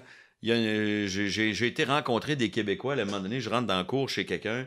C'était grand, il y avait des tables à pique-nique, des longues tables, puis c'était toutes des Québécois. Puis il y avait une épluchette de blé d'Inde, puis il faisait, tu sais, puis des hot dogs. Puis je dis, mon Dieu, c'est donc bien bizarre, ça, tu sais. Fait que, il y a une grosse communauté francophone en Floride pour des shows, mais c'est des, des publics plus âgés. Ouais, c'est ça. Il faut que les personnes plus âgées euh, apprécient euh, ton, ton humour, tu sais. Fait que, puis tu vois, mon show, J'étais content parce que même si je considère que je suis plus trash puis un petit peu plus vulgaire, les gens ont vraiment beaucoup ri. fait que je me dis, bon, ben, ça veut dire que je passe partout. Là, euh. Bon, puis ils peuvent en profiter même dans leur coin. Fait que, ouais, je pense qu'il y, a un plaisir de voir que, des Québécois se déplacent pour aller faire des shows là-bas. Mm-hmm. Jean-Marc Parent en a fait des shows en Floride. C'était-tu plein, euh, ton, ton spectacle? Oui, les deux ah soirs. Deux soirs Deux soirs, tellement que le gars m'a. Je suis allé là l'hiver passé, puis ça a tellement bien été, ça a tellement bien vendu qu'il m'a dit Crime, tu pourrais revenir l'hiver prochain. Puis j'ai fait Si tu penses que ça sera pas le même public, puis qu'il y a un. Il dit Oui, oui, oui, il dit assez drôlement. Il, dit, il y a des gens qui viennent vraiment euh, un mois, puis ils s'en vont après, puis si je te fais pas dans le même mois, ça va être correct, là, ça va être du public différent. Puis je fais, OK, moi, tu sais, c'est une semaine en Floride. Je vais, ils payent l'avion avec euh, ma famille. On se loue un petit condo là-bas, quelque part, pas loin de la plage. Puis je passe une semaine avec ma famille. J'ai deux shows à faire. Le reste du temps, on est sur la plage ou dans un restaurant, puis dans la piscine euh, euh, du, de la tour à condo où on est. On fait la belle vie pendant une semaine, pendant que les Québécois peltent. Puis après ça, on revient, puis on a coupé. Moi, j'aime ça, ça coupe l'hiver en deux. Non, non, c'est ouais, mon père dit tout le temps ça. Ouais. Ça coupe l'hiver en deux. Ouais, mais tu sais, c'est qu'au moment où t'en as plein le cul de la petite neige, là, tu t'en vas en Floride, une petite semaine, le cul dans le sable, après ça, tu reviens pelleter, mais au moins, t'as as eu du soleil, t'as eu de la lumière. Ben ouais. Fait que... Euh, la livre. Ouais, il y a aussi euh, Dîner de con. Ouais. La pièce de théâtre. Ouais. Ça, tu fais ça puis, on le reprend, là. Euh, ça va recommencer. on le reprend l'été prochain. Juillet. Tout le mois de juillet. Puis après ça, on le reprend en 2025 aussi. Puis là, euh, les productions euh, Monarch ont commencé à parler de 2026. Mais ça, tu on dois triper, à... ça... Ah, je capote. C'est fun à faire. T'en avais fait une coupe de, de, de comédie musicale. J'ai fait des comédies musicales, j'ai fait des petites choses sur scène. Je suis pas encore un... Je travaille pas tant que ça comme comédien, là, mais mm-hmm. tranquillement, on commence à me reconnaître comme un pas pire acteur, tu sais. Puis le dîner de con, man. Ça a du succès aussi. Fait ça marche. Le, film était bon. Les gens viennent. Il y en a qui ont vu le film, qui le connaissent par cœur, aussi. Puis ils rient pareil. Le show marche, là. Mhm. c'est Ça rit, là. comme ça rit comme un show d'humour, là. Tu sais, ça arrête pas. Il y a des soirs, là, man. Nous, on se regarde sur scène, puis on se dit, hey, on, recommence à parler tout de suite? Ou on attend que ça arrête de rire, là. Mhm. Parce que si on attend, ça va être long en esti. Fait que des fois, on gueule tellement parce qu'au théâtre, t'es t'es manqué, mais les micros sont à terre en avant de la scène, là, tu sais. Ouais. Fait que t'es obligé de crier un peu, puis il y a des soirs, là, le monde rit tellement, man, qu'on est obligé de, se parler, là, super fort. Là, je le ferai pas parce que ça va te péter tes aiguilles de, de VU, mais il y a des soirs de même, là, tu sais, mettons, quand mon personnage, avant, sais, la réplique, on a les droits, là. Ouais. Juste avant, là, mon personnage, je raccroche le téléphone, puis il est heureux. Le, le, rire est tellement fort que je pouvais pas dire on a les droits. Fait que j'attendais, puis pendant que j'attends, je fais des. Je savais pas quoi faire, Calis, que c'est. Ouais, là, là, aussitôt que le rire baissait un peu, je criais On a les droits! Puis là, le monde, ah, ça repartait de même. Ça. OK, c'est toi qui fais le, le, con là-dedans. C'est moi qui fais le con là-dedans. J'ai le casting parfait, ça a l'air pour jouer ça. C'est ce qu'on me dit. mais, euh, mais, mais je le prends pas mal parce que pour vrai, je suis d'accord j'ai le feeling que moi-même, j'aurais pu penser à moi-même pour euh, jouer ce rôle-là. tu le joues bien. Je le joue bien. C'est drôle parce que quand j'ai commencé, j'avais, travaillé sur un autre show d'humour euh, que j'avais fait qui s'appelait On va tous mourir. Puis je travaillais avec Serge Denoncourt qui faisait la mise en scène du show. Puis euh, c'était un show de sketch, tu sais, fait que c'est du jeu d'acteur aussi, tu sais. Puis il m'avait dit, toi, là, t'es le, t'es comme, t'es le king du reaction shot. Parce qu'il trouvait que j'étais bon quand je parlais pas aussi, tu sais que je réagissais aux commentaires des autres. Puis mm. il c'était comme. Des mimiques de Puis il m'avait dit Je comprends pas qu'on t'a pas encore proposé de jouer dans le dîner de con. Puis deux semaines après, André Robitaille m'appelait. Ouais, j'aimerais ça te faire jouer dans le dîner de con. Ah ouais. fait que j'ai fait Chris, c'était un méchant timing. Tu l'as pas pris comme une insulte. Non, non, non. Ouais, non. non, non, non, j'étais content. C'est, pour vrai, c'est, ça marche, là, du feu de Dieu. Les salles sont tout le temps pleines. Quand on faisait le show, puis je commençais mes rodages de mon show, je disais, Chris, je vends plus de billets. Le dîner de con vend plus que mon one-man show. Mais non. Ben oui, si les salles, on faisait le on a fait le centre culturel à Drummondville, là, qui s'appelle maintenant la Maison des Arts des Jardins. Euh, on était sold out, là, tous les fucking soirs. Après ça, on a joué à Québec, je sais pas combien de soirs. C'était sold out tous les fucking soirs. Puis à l'Assomption, on était installé là deux semaines de fil, cinq shows par semaine. On était sold out à tous les fucking shows. Ça, le puis mon show vend bien à moi, là. Mais je me disais, Chris, je, je serais jamais. Euh, c'est malade, là, tu sais. Ouais, ça, t'as pas de problème. C'est du théâtre, là. Prends, prends, le temps de tousser, man. ah ouais, man, là, ça me piquait. de travers, là. Vas-y, vas-y. J'ai ça de tes tasses parce qu'ils ont du... comme du liège en dessous. fait que quand tu déposes, ça cogne pas fort, tu sais, ça fait... Non, c'est ça que j'aime, moi aussi. C'est pour ça que as pris, hein? J'étais en train de revenir un peu. Mais ouais, c'est ça, moi tout, c'est ça que j'aime bien les. Euh, T'as l'air ému, tu sais, les ah, yeux. c'est tellement beau. J'ai juste failli m'étouffer, mourir étouffé, Esti. Oh, merci Dieu. euh, non, mais c'est ça, fait que ça poigne en mort, c'est ça, la 116 représentations de, ouais, show. Ouais, on, a topé, euh, on a topé notre billet d'or assez rapidement, puis là, on doit être pas loin de, du 100 000 billets de théâtre vendus. Puis ça, parce qu'on on va continuer euh, à jouer. Puis... Tu t'offres de, de souvenir de tous ces textes-là à faire? Moi, j'ai de la mémoire pour les textes. C'est la seule affaire. Fait que c'est pas dur pour moi. Hmm. Les textes, j'apprends ça vite. Des fois, juste, des fois, juste en répétant, j'apprends le texte. Quand je jouais dans l'histoire de filles, là, j'apprenais jamais mes textes. Parce qu'on répétait deux jours dans la semaine avec nos textes. Puis à mesure qu'on répétait la scène, euh, le texte, il rentrait. Puis le jour, on tournait le lundi suivant. Je pognais mon texte, on répétait encore une dernière fois devant les caméras pour être sûr que tout était correct. Je lisais mes. Puis après ça, je mettais mon texte, puis on faisait le show. Puis des fois, avant de rentrer, je regardais mon texte une dernière fois. Puis là, j'y allais, puis je faisais mon texte. Euh, fait que j'apprends ça facilement. Moi, j'apprends le texte, mon texte, puis je peux dire les répliques des autres personnes aussi. Fait que si, mettons, je travaille, puis qu'un comédien a un blanc, je peux y souffler son texte. Ah ouais, t'as une bonne mémoire de même. J'ai une mémoire de même, mais pour, pour des textes. Le reste, je me rappelle de rien. Je me rappelle pas des noms, les dates. Je vais demander le nom à quelqu'un, là. Puis si tu me demandes, c'est quoi qui t'a dit, c'est quoi son nom, je vais dire, je le sais plus, déjà. Ah ouais? Non, non, j'ai. Puis c'est pas que j'écoutais pas, là. C'est quoi ton nom? Caroline. Toi, tu me demandes c'est quoi son nom? Je le sais plus. J'ai oublié. Je suis vrai, je suis nul, là, tu sais. Puis les gens. Puis ce qui est tough, c'est que les gens pensent que c'est parce que je me crisse d'eux autres. Non, c'est ça, c'est juste. Ça a l'air de ça, tu sais. Hey, tu me l'as dit tantôt, mais c'est quoi déjà ton nom? Coudon, tu m'écoutais-tu, toi, tabarnak? Oui, oui, je t'écoutais, puis OK, c'est parce que ça, t'intéresse pas. Je suis capable de se souvenir d'un show, mais pas de mon nom. je me rappelle pas des dates, je me rappelle pas des trajets. Hum je rentre dans un magasin, je tourne à droite pour rentrer dans le magasin. Puis quand je ressors, au lieu de tourner à droite, je, repasse, je pars de l'autre bord. Je me rappelle plus de quelle bord je suis arrivé. T'as de la misère avec la géolocalisation? J'ai de la misère avec la géolocalisation. Si j'ai pas de GPS, je suis nul en route. Le sens de l'orientation. Aucun sens de l'orientation. je sais même pas. Des fois, je roule, puis là, ma blonde me dit, là, le, le boulevard Tachereau, il est à gauche. Je dis, hein? Je pensais que je m'en allais sur le boulevard Tachereau, là, tu sais.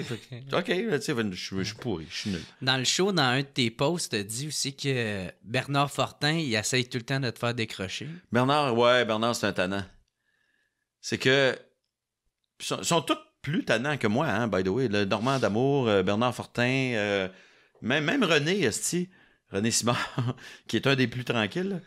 C'est que, tu sais, euh, moi, moi je suis comme. J'ai l'impression que je suis pas un je, suis moins, j'ai moins le syndrome d'imposteur, mais tu sais, dans ma tête, je suis encore un acteur qui commence dans le métier. Fait que je suis full pro, là. Tu sais, j'essaie de pas de pas décrocher puis de pas faire décrocher les autres tu sais. Puis puis t'as Bernard Fortin c'est parce que les, les on soupçonne pas à quel point les gens sont loin. Sur scène là le public est loin. Fait que ah si je te parle de même les gens ils entendent pas. Fait que des fois je peux te dire des hosties de niaiseries. Les gens dans la salle ils ont aucune idée que je viens de te dire euh, une niaiserie parce que je suis tellement ils sont puis quand tu parles au théâtre, tu parles comme ça. Puis là, les gens dans 12e rangée, puis dans, dans, le fond de la salle, ils entendent. Mais aussitôt que je te regarde, puis je te dis, euh, ben, je peux te dire pénis tout bas, puis personne le sait, tu sais. fait que René, René Simard, mettons. Euh, mais moi, je le fais un peu des fois. des fois, je suis un peu tannant. Mettons, René Simard, quand il arrivait sur scène au début, ben, à, son, à sa première arrivée, là, il y avait toujours une clap, ce style-là. Toujours le monde, René Simard rentre, le monde comme dans un théâtre, euh, comme d'un vieux symphorien, tu sais. oh, René Simard rentre, tu sais. Puis pendant que les gens applaudissaient, je disais, je, je, le regardais, puis je disais, ah, va chier. Mais Bernard Fortin fait ça beaucoup, parce qu'à un moment donné, son personnage, il est, comme euh, perdu. Il vient d'apprendre que sa femme euh, le trompe. Puis là, il est comme un peu de même. Puis il, se pogne les cheveux. Puis il, lève ses cheveux dans les airs. Puis là, il nous regarde comme ça, mais il fait des sons avec sa bouche que le public n'entend pas. Nous autres, on l'entend, mais tu sais, il est de même. Puis là, t'es le. Puis Normand d'Amour, qui est en bas, donc il est dos au public. Lui, il rit, sti, puis il décroche, puis il fait des...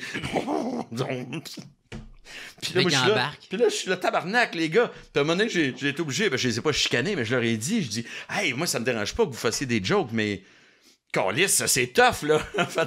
moi, des fois, j'ai de la misère à pas rire, là, tu sais, puis moi, des fois, je les fais rire. René, des fois, il est rouge de même, il est comme ça. Puis moi, j'essaie de jamais rire. Mais à un moment donné, je décroche. Puis euh, à un moment donné, je leur ai dit, vous êtes trop tannants, là, on, on perd le beat, là, on est moins bon, là. Parce qu'on rit, on se fait rire, on veut se faire rire. Fait que là, on déconne. Puis là, on oublie qu'on a un show à faire, que le monde dans la salle, là, ils, en ont rien à colisser, que je te fasse décrocher, puis il faut, il, faut que le show soit bon, tu sais. Mais on, on, on s'amuse, Puis comme c'est tellement niaiseux ce qu'on dit, puis juste ma face d'abruti, tu sais, je, le sais que quand je regarde Normand, puis qu'il me, il me demande, tu sais, quand il dit il s'appelle juste Leblanc, tu sais, puis moi je dis, ah oui, il n'y a pas de prénom. Lui, il me, il parle, il dit, oui, je viens de vous le dire juste, puis moi je suis juste. Asti, le silence, man. Les premières fois qu'on faisait ça, il était pas capable de pas rire. Il était pas capable de pas rire. Puis des fois, là, il me regarde, puis il recule, puis il a, comme peur de moi, puis moi, j'ai le goût de rire. Ça, c'est...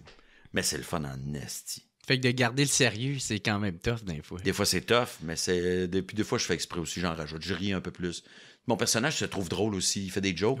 Puis après ça, il rit. Puis des fois, je ris pas de la même manière. Des fois, je ris d'une façon plus forte où je rajoute une affaire, puis là, puis là il me regarde, là, l'air de dire Hey, mon esti, là, tu vas.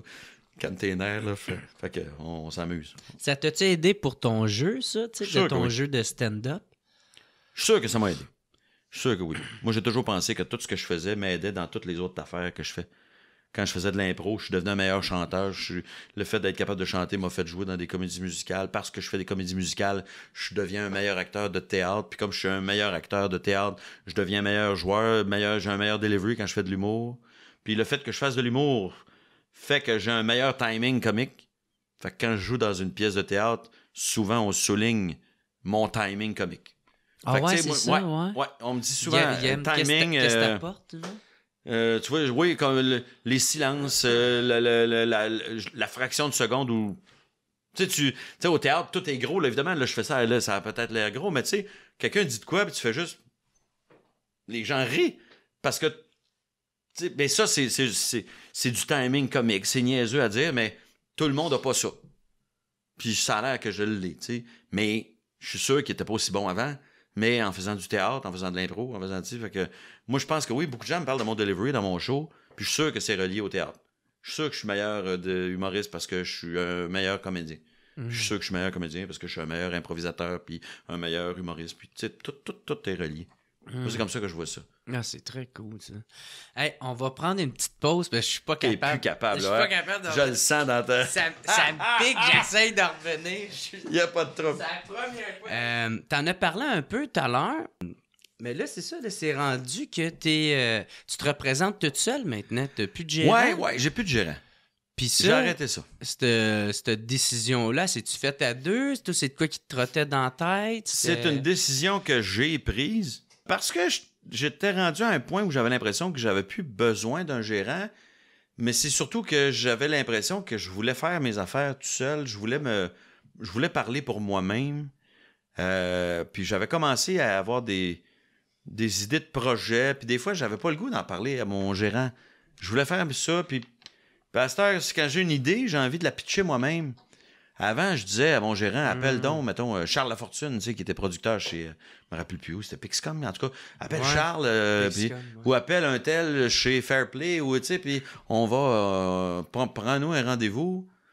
Puis là, je pitchais mon projet à mon gérant, puis après ça, il prenait le rendez-vous, puis après ça, on allait le pitcher ensemble à un producteur, puis, je me disais, mais c'est comme, à ce je les connais tous, les producteurs, tu sais, je connais, je peux appeler chez quelqu'un, puis dire, hey, j'aimerais ça vous pitcher quelque chose.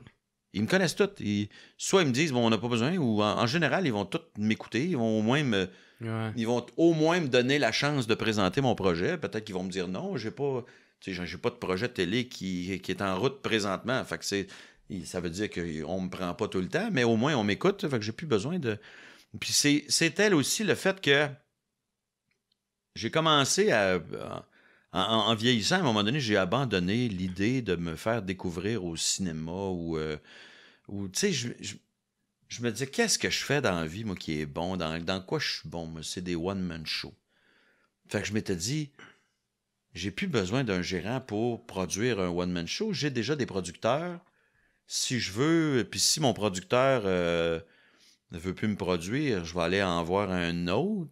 Puis, tu sais, j'ai Puis, tu sais, un, un, gérant, ça prend 20, 20, 25% de ton cachet. Puis là, je me disais, je vais lui donner 20 d'une affaire sur laquelle il n'y a pas besoin tant que ça de travailler, tu sais. Mm-hmm. J'avais cette impression-là. Moi, je pense qu'un gérant, c'est bon quand tu en as besoin pour négocier tes cachets, quand tu te fais pas reconnaître, mm. quand tu as besoin de prendre ta place, puis que... T'amener ailleurs. Ouais, t'amener ailleurs. Puis là, je me dis, moi, je suis fatigué d'essayer de, me faire aimer par des gens qui, euh, qui me connaissent pas ou qui m'aiment pas. J'ai fait, moi, je vais faire des shows. Puis euh, je regardais les projets qui s'en venaient, puis je me disais, je m'enlignais à ce moment-là pour animer, un gala juste pour rire encore. Puis j'allais lancer un nouveau one-man show. Puis c'était pas mal juste ça que je voulais faire cette année-là, tu sais. Puis je me disais, ça va être ça ma vie après. Tu sais, je vais faire d'autres one-man shows. Je vais animer peut-être d'autres galas, mais. Puis je vais. Euh, je vais donner une partie de mon cachet à quelqu'un. Puis je veux pas diminuer le travail des gérants. Puis surtout que mon gérant, c'était un asti de bon gérant. Mm-hmm. C'était vraiment un gars qui travaillait bien, puis qui, m'a défendu euh, longtemps, qui a tout le temps été je sentais que j'étais sa priorité, c'est niaiseux, mais c'est important quand tu ben un gérant, ben, tu as envie de sentir que tu pas un parmi tant d'autres. Fait que je sentais que pour lui, j'étais son artiste prioritaire. Peut-être qu'il il s'occupait, c'était Guy Lévesque euh, qui était un excellent gérant, il s'occupe de Billy Tellier, Sylvain Larocque, Ouellette, puis une couple de personnes de même. Puis il est très très bon, mais moi, je me disais, j'ai l'impression que j'ai plus rien à. T'étais rendu ailleurs? Ouais, il y, y, a un côté de moi aussi qui est un peu, peut-être pessimiste ou fataliste. Je me disais, il est trop tard, je ne deviendrai pas une vedette de cinéma. Ça fait des années que je veux que j'ai, jamais eu un, rôle vraiment le fun au cinéma.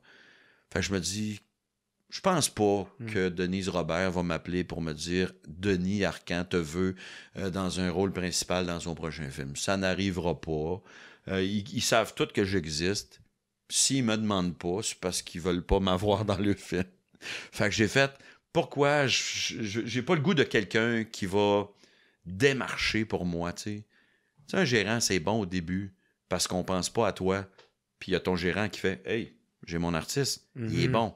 Hey, si vous avez besoin de quelqu'un, Laurent Paquin, mhm. très bon, jeune humoriste, mhm. talentueux, il écrit bien, il est bon pour faire de la radio. Si vous avez besoin de quelqu'un, à ce les gens de la radio, s'ils veulent m'avoir, ils vont m'appeler. Si moi, je veux faire de la radio, je vais les appeler. J'ai été puis j'ai, plus envie tant que ça d'avoir ma sitcom à TV ou d'avoir mon talk show à moi. J'ai. Mais pour le cinéma, par exemple, c'est toi qui, qui te longtemps. Tu sais, j'ai pas un agent au cinéma. rêvé de, de faire ça. J'ai voulu faire du cinéma, tu sais, comme tous les humoristes, on rêve tous de pogner un rôle. On veut tous être Patrick Huard, Louis-José Hood, ouais, qui ont eu des rôles. Euh, ouais, c'est ça. J'aurais pas haï ça, mais plus je vieillis, moins ça me tente. Je dis pas que je le ferai pas, là, tu sais, si Denis Arcan écoute. mais tu comprends? Je dis Denis Arcan. Ça peut être euh, Ricardo Troggi ou je sais pas, mais. Euh, Il s'en vient Ça m'intéresse moins qu'avant.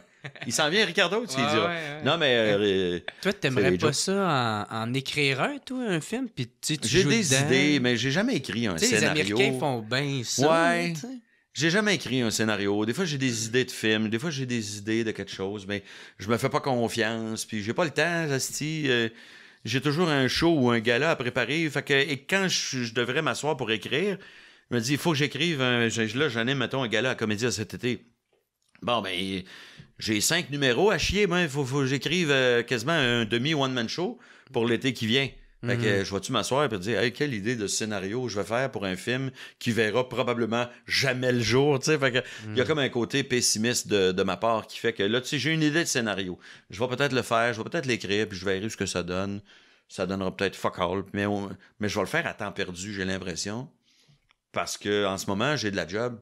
Tu sais, c'est tous des petits projets auxquels je crois pas. Fait que j'ai pas le goût de mettre du temps.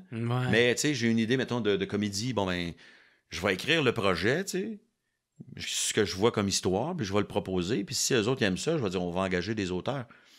Mais moi, je me. C'est un métier écrire des films. C'est comme écrire un roman. J'aimerais ça écrire des romans, mais je pense pas que j'ai ça. J'ai jamais fait. Euh, ça prend des talents en scénarisation. Moi, j'écris du liner, j'écris du stand-up. Je suis capable de te raconter quelque chose. Je suis capable de puncher, mais tu sais, un film, avec le début, avec des flashbacks, avec des revirements, puis d'une scène qui se passe au café, puis une scène qui se passe dans l'avion, puis une scène qui se passe... Tu sais, que, c'est une job Ben Pourquoi il y a autant de films plates? C'est parce que c'est une job tough, écrire un bon film. Ouais. Sinon, tous les films seraient bons. Mais en même temps, ça dépend le concept que tu as. Tu sais, comme le film The Father avec euh, Anthony Hopkins, là. Euh, C'est-tu le père qui souffre d'Alzheimer? Exact. Puis, ouais, ouais, là, t'es fourré en écoutant ça, mais c'est parce que ils te mettent dans la peau de quelqu'un qui, qui, qui, fait, qui souffre d'Alzheimer. Ouais, ouais, j'ai pas vu le film, mais je l'ai entendu parler. Apparemment, c'est très bon. Mais ça, ça a pas dû coûter cher. Tu sais, c'est sûr, ça coûte de l'argent, mais tu sais, ça se passe dans un appartement. Oui, les meilleurs films sont pas toujours les plus chers, mais tu vois, ça, c'est quelqu'un qui a un astifi de talent de scénarisation, là. Tu sais, on parlait du dîner de con. J'aimerais ça, moi, écrire une pièce de théâtre une bonne pièce, comme une comédie, là, je m'étais dit, je vais, je vais essayer d'en écrire une, puis je vais la proposer à André Robitaille, tu sais, pour qu'il monte ça à un moment donné euh, dans, dans, son théâtre, avec sa compagnie de théâtre. Mais je dis, Chris, le dîner de con, là, c'est du divertissement populaire, là. Mais quand tu analyses la, pièce, là, tu fais comment il installe toute la situation au départ où tu comprends rapidement c'est quoi la situation. Tu, sais, tu le sais que c'est un trou de cul qui organise des soupers pour humilier un pauvre gars, mhm. puis ils ont du fun, puis ils rient entre eux autres, puis il y a un concours de qui va trouver le con le plus con. Chris, tu comprends ça dans les cinq premières minutes de la pièce. Puis quand le personnage rentre, le personnage, ils ont installé que le gars avait mal au dos. Fait que tout le long de la pièce, il a mal au dos, mais à un moment donné, c'est bien important parce que là, j'y tombe dessus, puis là, le, le, dîner est annulé, puis à cause de ça, je reste pogné avec lui. Puis là, sa femme appelle, puis elle le quitte, mm. puis moi, je suis là parce que je m'occupe de lui qui a mal au dos. Fait, tu sais, fait tout, tout s'enchaîne, puis les bad luck s'enchaînent. Puis à un moment donné, le personnage boit du vin, puis il est trop bon son vin, il veut avoir l'air pauvre, fait qu'il met du vinaigre dans le vin, mais tu l'oublies à un moment donné. Puis après ça, tu as le contrôleur fiscal qui boit du vin, il s'étouffe, puis là tu fais Ah mon Dieu, t'avais oublié que le. T'avais oublié que le vin était pas bon, tu sais. Puis c'est niaiseux, mais c'est tous des revirements que tu fais. Chris, c'est pas n'importe quel tweet qui peut écrire ça, là. Mm-hmm. Fait que j'ai fait. C'est comme. Tu, tu, regardes la pièce, puis tu fais Chris, je serai jamais capable d'écrire une pièce de théâtre. Ça sera jamais aussi bon que ça. Mais peut-être que oui, je sais pas. mais tu comprends, quand tu regardes ça, c'est comme quelqu'un qui veut se lancer dans le cinéma, puis écoute le parrain, puis il dit Ok, je vais. Mm.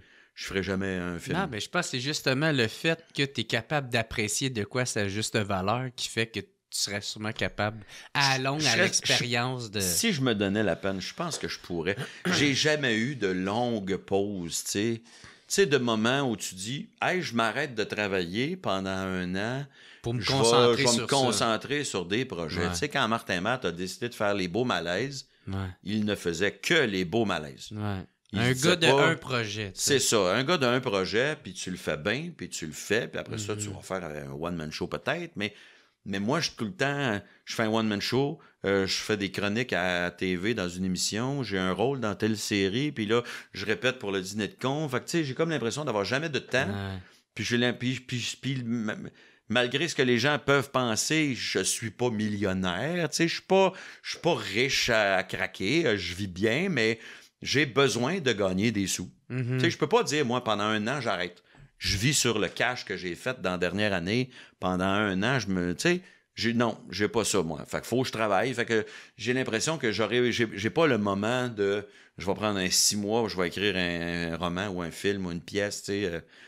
fait que quand j'écris de quoi, c'est à temps perdu. Puis à un moment donné, j'étais en train de chier un projet. Puis des fois, ça aboutit à quelque chose. Là, j'écris, j'écris un projet là, d'une série, comédie pour la télé, mais euh, tu vois, je travaillais un peu là-dessus à matin pour essayer d'étoffer mes personnages. Puis j'ai commencé à écrire des scènes, mais tu sais, je me dis quand est-ce que je vais trouver le temps de faire ça?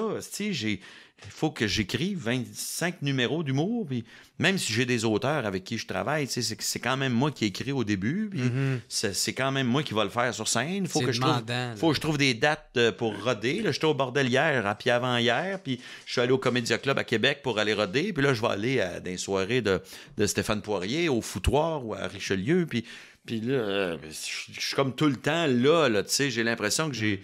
Fait que je me dis, quand est-ce que tu écris un scénario de film là-dedans, tu sais? Je me plains pas, j'aime ça être hein? occupé. oui, oui, moi j'aime ça être occupé. J'aime ça avoir des affaires, mais il y a des fois où je me dis, hey, je crisserais mon camp en Europe pendant six mois juste pour marcher. Si je n'irais pas faire Compostelle parce que le projet semble plate à mort, mais j'irais. Euh, des fois, je rêve de, m'installer juste à Paris. Euh, dans Montmartre, puis de me lever le matin, puis d'aller prendre mon petit café. Ah ouais. Avec mon laptop, tu sais, puis tu t'installes, puis tu écris ton roman, tu sais, comme dans les films, tu sais, la, vision qu'on a romantique d'un auteur de roman à succès. Mais moi, tu sais, qu'est-ce que tu décris, là, tu sais, ça, je suis. Tu sais, parce que, c'est pas exactement qu'est-ce que tu dis, mais être chargé de même puis d'avoir à penser à toutes ces affaires-là, ça m'arrive souvent, là, tu sais. Il y a des gens qui sont incapables. Moi, j'aime pas ça faire ça.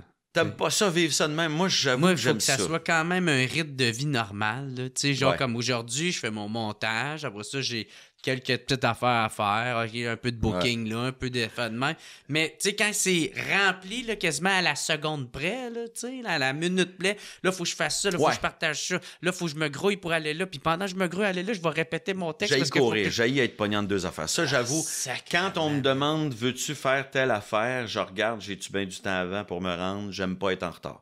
J'aime pas être en retard. Fait que tu sais, quand j'ai accepté de faire ton podcast, c'est parce que j'avais de quoi juste à soir tard. Mhm. Je m'en vais voir un show à soir, fait que je le sais que je serai pas dans mon char en me disant tabarnak, je vais être en retard, j'espère qu'il n'y a pas de trafic.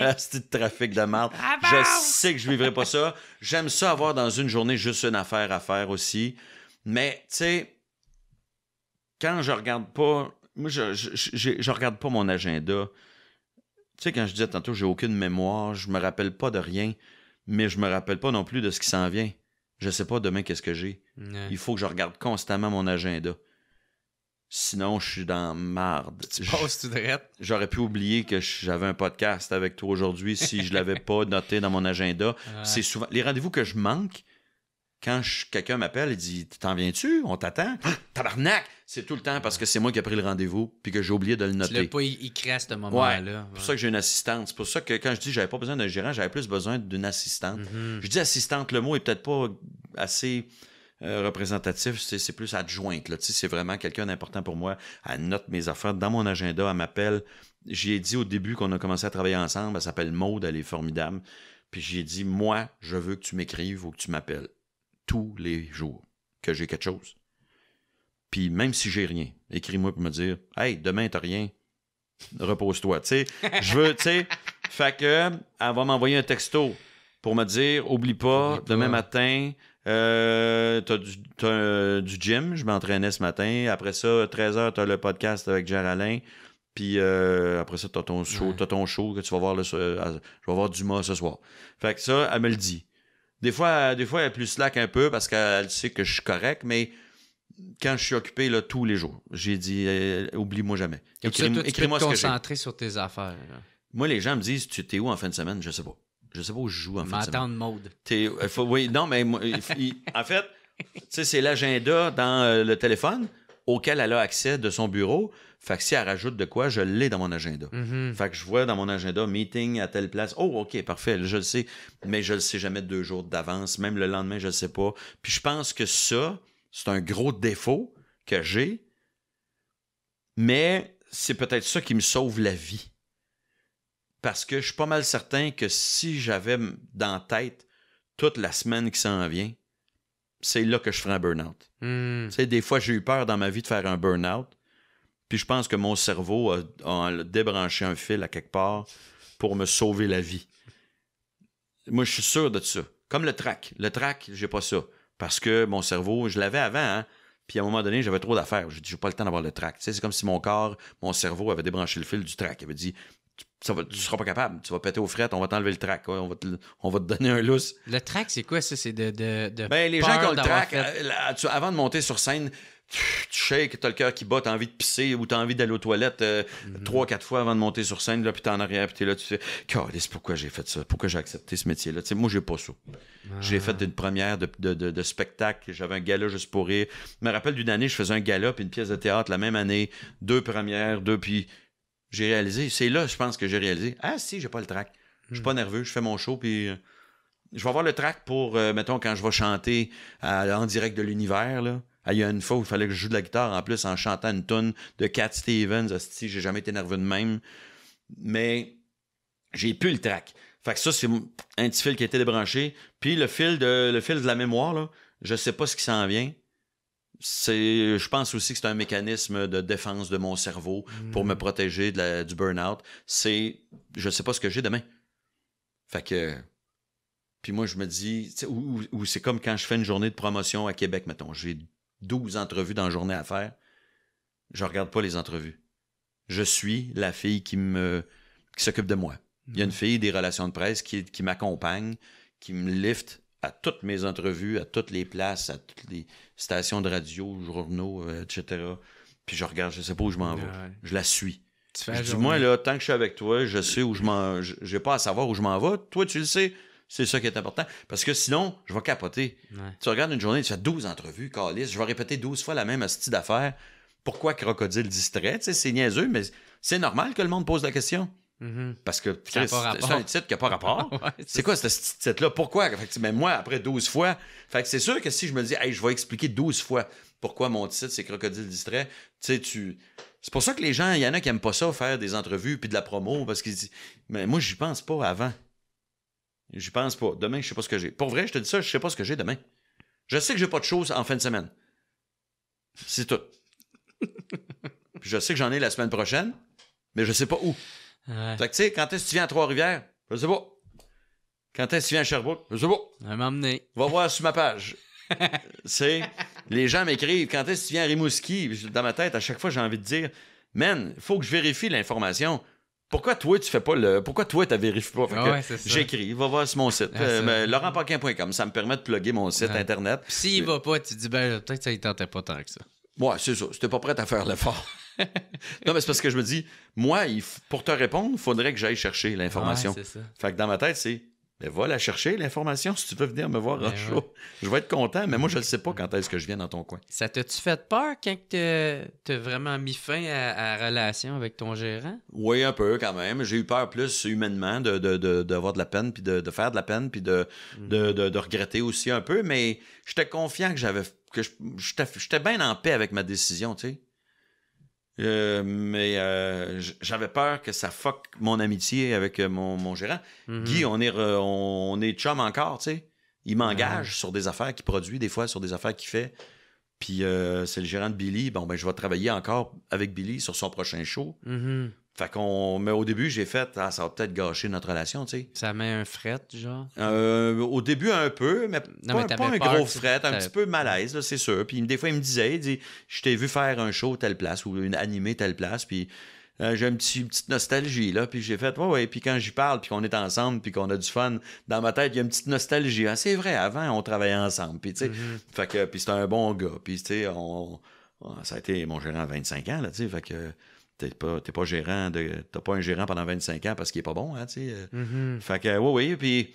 Mais j'étais assez quand j'étais assez en paix avec ma décision. Tu sais, j'avais l'impression que, que c'était la bonne affaire à faire. Puis j'ai pas regretté, j'ai pas manqué d'ouvrage. Les gens continuent de m'appeler. Sauf mm-hmm. qu'au lieu de m'appeler, d'appeler mon gérant, ils appellent moi ou ils appellent mon booker. Puis là, mon booker, euh, tu sais, ça, s'il y a une demande pour moi, la demande finit toujours par se rendre à moi. Mm-hmm. Il n'y a pas personne qui fait Ah fuck, il n'y a plus de gérant, bon, on ne l'appelle pas, on ne sait pas qui appeler. Il y a toujours. Je manque pas d'ouvrage. J'ai pogné un rôle à TV, j'ai pogné une pièce de théâtre, j'ai pogné. Tu sais, je, je manque pas d'ouvrage. Mais euh, c'est le changement qui est toujours un peu. Euh, mm-hmm. comme ben, quand j'ai quitté Juste pour rire, j'ai fait je vais-tu regretter? Puis il y a du monde que j'aimais beaucoup à Juste pour rire, tu sais, des, des, gens avec qui je travaillais depuis longtemps. Puis puis euh, des gens que je connaissais pas de temps, mais que j'aime, tu sais. Euh, Patrozon, c'est un. Dans la catégorie Bon Jack, là, il est dans la première position, là, tu comprends? Fait que j'ai fait, ah, c'est plus l'humain qui me dérange, qui me fait de la peine. C'est plus le côté humain. Côté business, je m'en fous un peu plus. Tu sais, j'ai confiance dans mes décisions, mais c'est le côté humain. Ah, je vais-tu faire de la peine à quelqu'un? Mm. Puis, euh, Comme d'une vraie relation. Dans le ouais, ils vont-tu me bouder? Ils vont-tu m'inviter s'ils ont des projets? Ils vont-tu penser à moi? Puis, euh, mm. bon, l'année d'après, ils m'ont pas réinvité à animer un gala, mais. Ouais. ça, ça, ça t'a-tu fait de quoi, ça? Ouais, un peu quand même. Un peu, mais je comprenais. Tu sais, je venais de les quitter en production. Tu sais, je comprends que le festival puis la production, c'est deux boîtes, même si c'est le même nom, c'est quand même deux, deux, deux, euh, deux, bureaux, deux entités, c'est ça. Le mot que je cherchais, deux entités différentes, mais je les ai flochés en prod.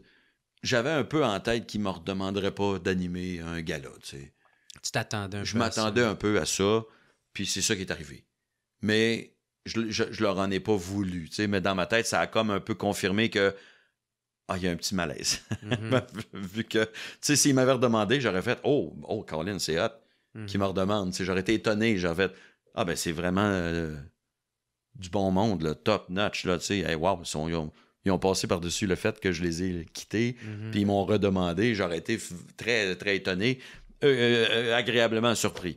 Fait que quand c'est arrivé, j'ai fait, c'est pas mal ça que je pensais qu'il arriverait. Ouais, c'est correct. Bon, oui, puis je leur avais juste dit avant, j'avais parlé à Junior euh, Girardeau, j'avais dit euh, si vous pouviez juste me le dire assez tôt si vous me reprenez ou pas. Moi, je vais aller offrir mes services à Comédia. Je dis, je suis avec vous autres depuis tellement d'années que je me sens un peu obligé de, rester avec vous autres, là, tu sais, mais mhm. moi, j'ai le goût de travailler, j'ai le goût d'animer un gala, moi. Fait que si vous me dites, faites-moi pas le coup de chien de me faire niaiser longtemps pour qu'il soit trop tard pour que j'anime à Comédia, tu sais, si je veux. Puis là, Junior a été bien correct. Il m'a dit Ouais, on a eu la décision, là, tu peux, tu peux te proposer à Comédia. Puis, mhm. puis je tripe à Comédia depuis, ça va faire ma troisième année, puis j'adore ça. C'est la même job, c'est la même chose. pas qui te, qui te disent Ah, non, on va aller à quelqu'un d'autre. Euh. À Comédia? Ouais. Non, mais je me, je, me, je me, suis dit, si jamais ça marche pas, ben, je prendrais un été. Euh, de break. moi, j'aime ça, animer des galas. Si tout le monde me dit pourquoi tu fais encore ça, comment ça fait que t'as? Je sais pas, si j'aime ça. Je fais. C'est mon métier. C'est le métier que j'aime faire dans la vie. Mais, mais, mais c'est vrai que peut-être un été de off, ça me ferait du bien un peu. À Paris, à boire du café. À boire du café sur une terrasse avec mon petit laptop, à écrire mon roman. Oh, mon film! à boire des petits expressos. ouais, c'est ça. Ouais. Mais là, je pense, c'est quoi? Juste pour rire, ils en font plus de gala maintenant? Juste pour rire, en fait l'ultime gala l'année passée parce que c'était le, Ils ont fait un show bénéfice pour la Fondation d'Yvon Deschamps. Là. ils, ont appelé ça, ils, ont appelé ça, l'ultime gala. J'ai participé à ça avec une méchante trolley mhm. de, gros noms. Là, au lieu d'être genre comme sept galas, ils en ont un qui fait un? Ils en ont juste fait un, puis c'était au profit de la Fondation d'Yvon Deschamps pour le centre Yvon Deschamps dans le quartier Centre-Sud. Puis euh, les gars-là, juste pour eux, sont... c'est fini. Ça veut pas dire que ça reviendra jamais, mais tu sais, je suis pas dans. Je suis plus vraiment dans le cercle, tu sais, fait que je suis pas au courant, tu sais. Moi, dans ma tête à moi, il aurait pas dû arrêter. Il aurait dû continuer, même si c'était pas diffusé à TV. Parce que ça vendait bien quand même. Je sais pas si ça vendait bien. Moi, je pense qu'il y a eu un désintérêt des gars-là à un moment donné, tranquillement. Je pense que ça pognait moins qu'avant. Hmm. Je pense. Mais moi, je, moi, ce que j'aurais fait, j'aurais dit continue. Moi, j'aurais fait des galas encore. Puis j'aurais dit, vu que c'est pas diffusé, ça va être des hosties de bons galas, là. Mm-hmm. Parce que tous les bons humoristes qui veulent pas faire des galas parce qu'ils veulent pas brûler leur numéro, là, ils vont s'en crisser. Ils vont dire, ah, c'est pas télédiffusé, je vais y aller le faire ton gala, moi. Tu payes mm-hmm. pas le monde autant parce qu'il n'y a pas une licence télé pour, payer aussi cher qu'avant, mais moi, là, un numéro euh, dans un gala pas télédiffusé, je n'importe quand. Pourquoi pas? tu te gâtes, puis je suis sûr que ça aurait fait des meilleurs galas. Les galas auraient été meilleurs qu'avant. Hmm. Mais pas diffusés. Puis ça ajoute un petit côté euh, exclusif, là.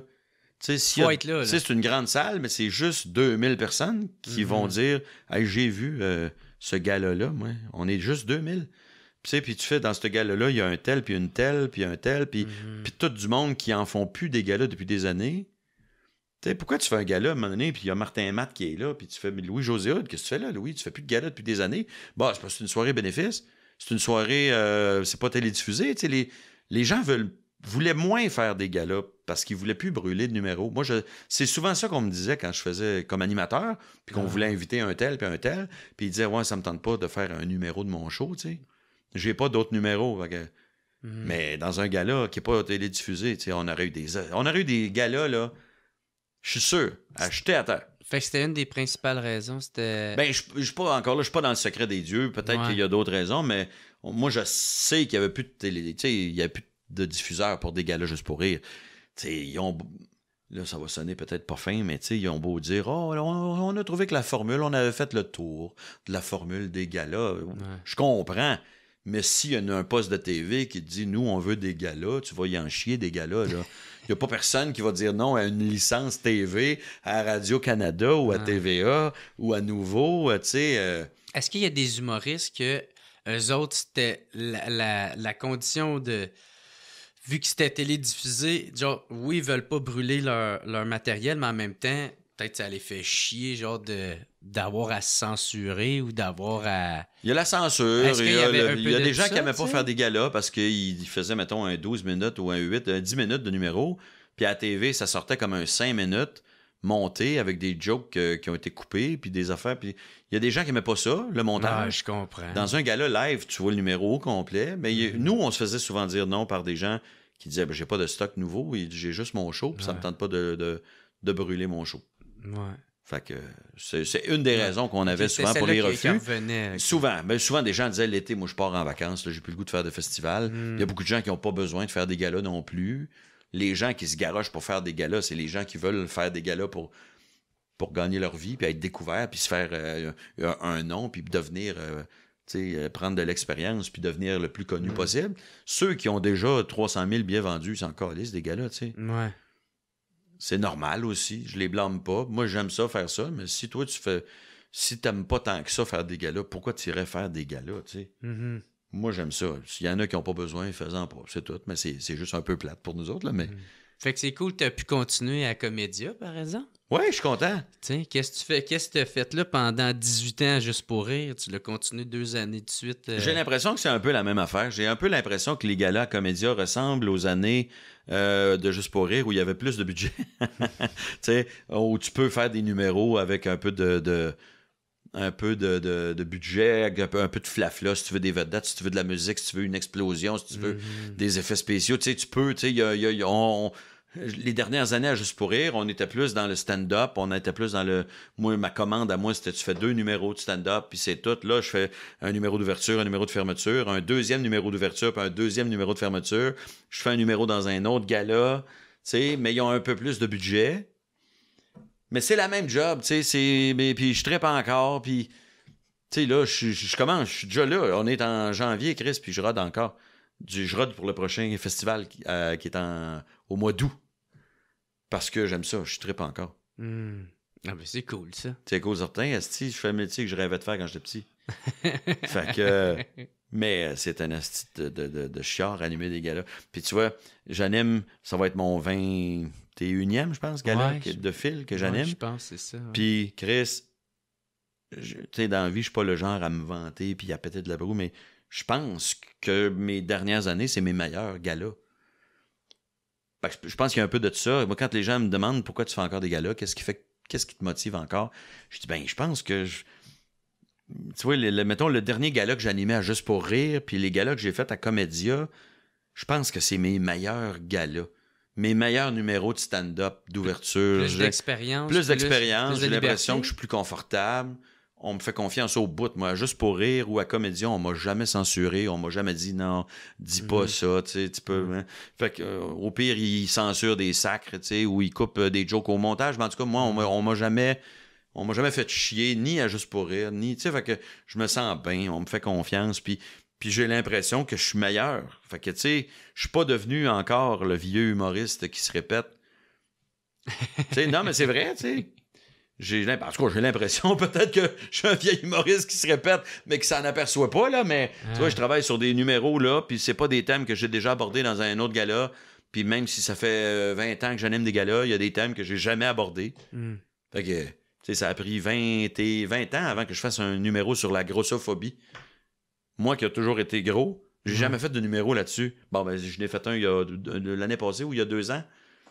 Fait que, tu sais, ça veut dire que j'ai encore plein de sujets qui n'ont pas été faits. Puis j'ai encore de quoi, de, quoi dire. J'ai l'impression que, que je suis meilleur qu'avant. C'est tu surveilles justement le fait de ne pas vouloir te répéter? Oui, mais j'essaie d'être à jour. J'essaie de. Moi, j'essaie de pas me répéter. Il arrive des fois que je reprends des gags que j'ai déjà fait ailleurs. Mais j'essaie, tu sais, quand j'anime un gala, je prends pas du stock de mon show. Puis quand je sors un show, j'essaie de pas prendre de stock de gala. Des fois, je me je pique quelques gags, euh, parce qu'ils sont à moi, ces gags-là. Je, peux bien les reprendre un peu. Mais tu sais, j'essaie de, de, jamais me répéter. C'est un souci que j'ai. depuis que j'ai commencé de déplaire, moi, j'avais. Quand j'ai commencé à écrire déplaire, je m'étais dit, c'est mon show de, de, de test. Ça passe ou ça casse. Je n'avais peut-être pas raison, là peut-être que je me mettais de la pression inutilement. Mais moi, en écrivant des plaires, je me disais, soit je suis en train de devenir un humoriste has-been, qui répète les mêmes affaires, puis que les gens sont on l'aime, là, mais on l'a vu déjà, là, tu sais. Hmm. Ou, ben donc, je me renouvelle, puis les gens font OK, il y a encore euh, de quoi dire, Laurent Paquin. Tu sais, fait que ça, a été quelque chose qui m'a obsédé pendant plusieurs années. Puis encore mhm. aujourd'hui. En écrivant Crocodile distrait, je me disais, il faut que les gens se disent OK, pour un gars qui est là depuis quasiment 30 ans, Chris, il est encore mhm. actuel. Ah, il est encore jeune. J'ai l'impression que je me mets cette pression-là, peut-être trop, mais je pense à ça tout le temps quand je travaille. Il faut que je prouve que je suis encore pertinent, que je suis encore. Quand j'anime un gala, on me dit là, maintenant, tu es habitué, ça doit être plus facile, tu en as fait beaucoup. Ouais, je suis plus à l'aise, je pense que je suis meilleur, mais justement, je n'ai fait beaucoup. La pression. Quand est-ce qu'on va dire, bon, là, ça fait, là, il en a fait en masse, là, on peut peut-être prendre une pause de Laurent Paquin. Tu gardes tout le temps ça en arrière de la tête. J'ai tout le temps ça un peu en arrière de la tête. Tout le temps. Puis quand j'écris un show, je pense tout le temps à ça. Quand je travaille avec du monde, mm. je pense tout le temps à OK, est-ce que je suis un vieux qui se répète? Est-ce que j'ai des mm. idées arriérées? Est-ce que, tu sais, parce que des fois, j'ai des, j'ai des bonnes idées, mais des fois, je vérifie. Tu sais, j'écris un gag, là, je parlais de racisme dans un gag, ben, je l'ai fait euh, lire par euh, Eddie King. Je dis, ce gag-là, on comprend-tu qu'il est antiraciste ou j'ai l'air raciste. Mm-hmm. J'essaie d'être progressiste dans mon humour. J'aime ça parler de sujets plus récents, plus modernes, parler de personnes trans, parler des affaires d'aujourd'hui. Puis j'essaie de, Des enjeux sociaux. Des enjeux sociaux, mais juste pas, pas parce que je veux être jeune. Je veux être actuel, C'est mm-hmm. quoi que le monde... Tu sais, je veux pas... Je veux pas tomber dans la nostalgie. Moi, je pense pas que quand j'étais jeune, c'était mieux, Il y a des affaires qui étaient mieux, mais il y a des affaires que c'était de la style puis on est bien mieux aujourd'hui. Puis on est. Tu sais, euh, j'avais, j'avais fait un numéro sur les générations entre les boomers puis les milléniaux, puis que les boomers qui disaient Ah, les milléniaux, ça prend tout le temps des selfies, puis c'est, c'est du narcissisme. Je disais fuck you. Si, si t'avais eu un iPhone 12 à Woodstock, on n'aurait pas encore fini de scroller tes hosties de photos de poêle là, aujourd'hui. Vous autres, tu pas l'air là. Fait que j'aime bien euh, prendre la défense de tout le monde un peu, puis. Euh, mais ouais, ouais, je suis constamment obsédé par mm. l'idée qu'il faut que je prouve tout le temps. Mm. Fait qu'il y a quand même une peur de. De, de, ne pas être has-been, de ne pas devenir. Je suis préoccupé par ça. Tout le temps. Mais, mais je te dirais pas que ça me. C'est pas si négatif que ça. Mm. C'est même plutôt positif. Dans le sens que. comme un levier. Je le vois comme un levier. C'est comme quand je vois les jeunes humoristes que je trouve vraiment bons je me sens pas menacé, je me sens motivé. Je me dis, je passe après. Euh, tu sais, mettons, quelqu'un qui torche en ce moment. Charles Brunet, puis Mettons, tu passes après Charles Brunet qui arrache tout. Tu fais, hé, eh, je passe après ça, moi. Faut que je sois bon. Mais je me dis pas, ah fuck, il marche fort, Esti. J'ai pas le choix de marcher fort aussi, sinon j'ai l'air cave. C'est pas comme mm-hmm. ça que je le vois.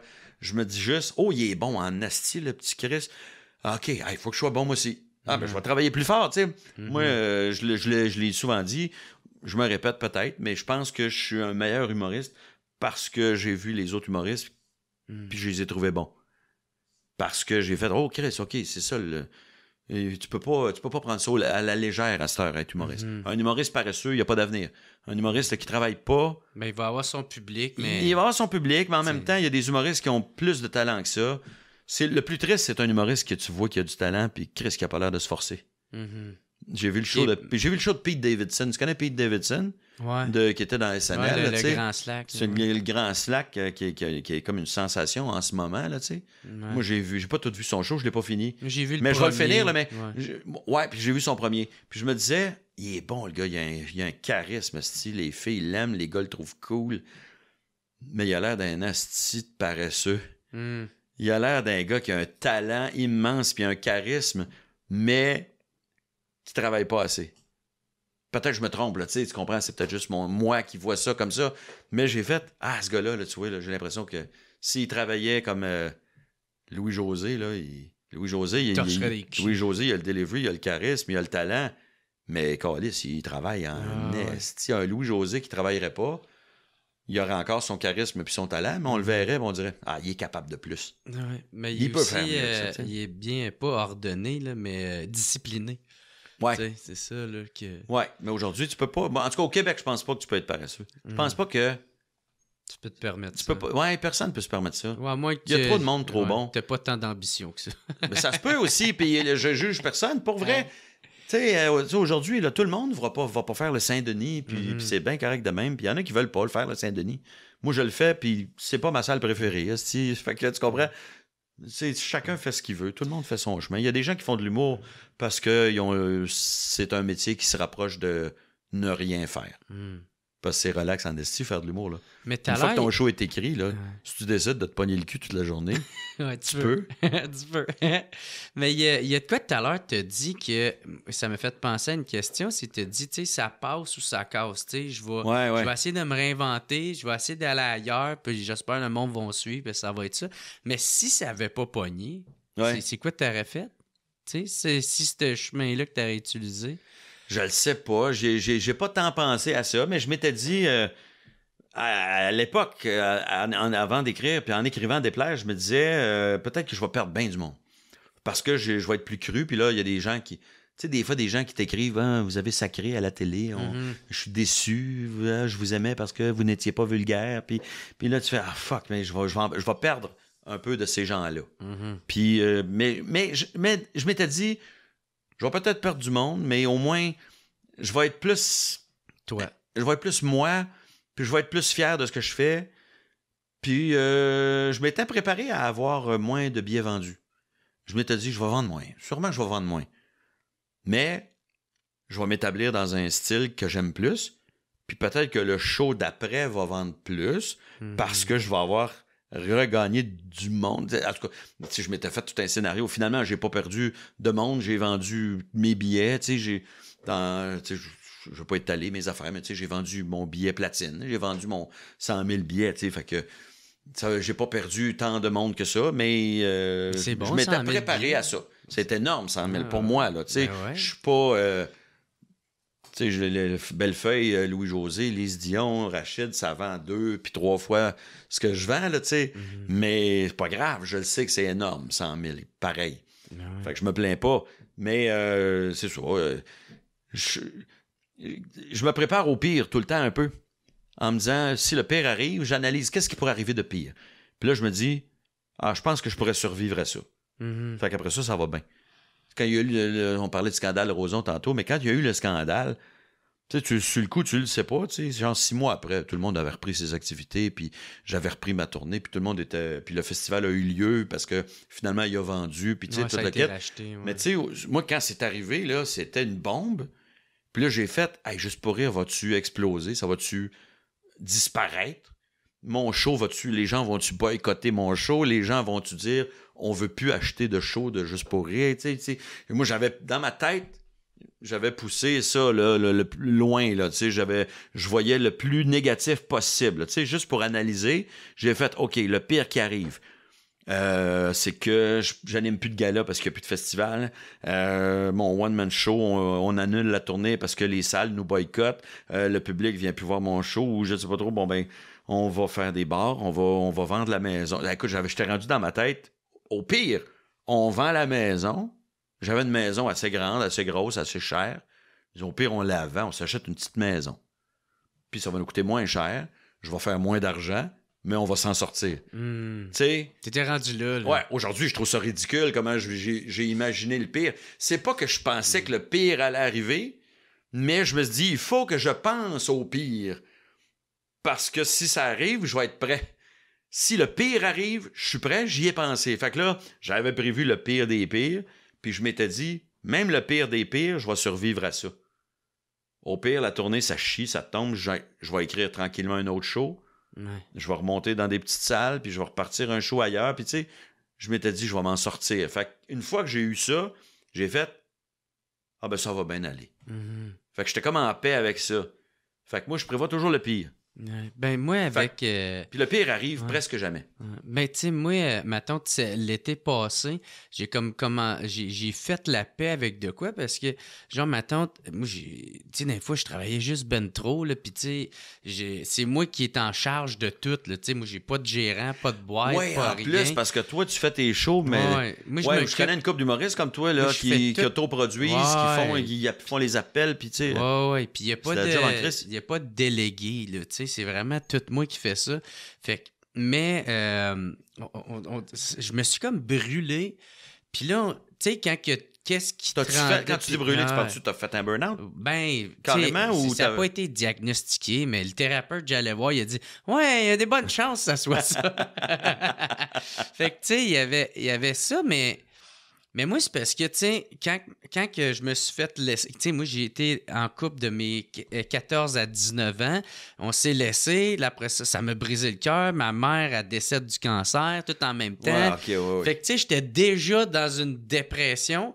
Puis là, j'ai comme utilisé l'humour qui m'a amené une nouvelle vie, ou ce que j'ai sorti de ça grâce à ça.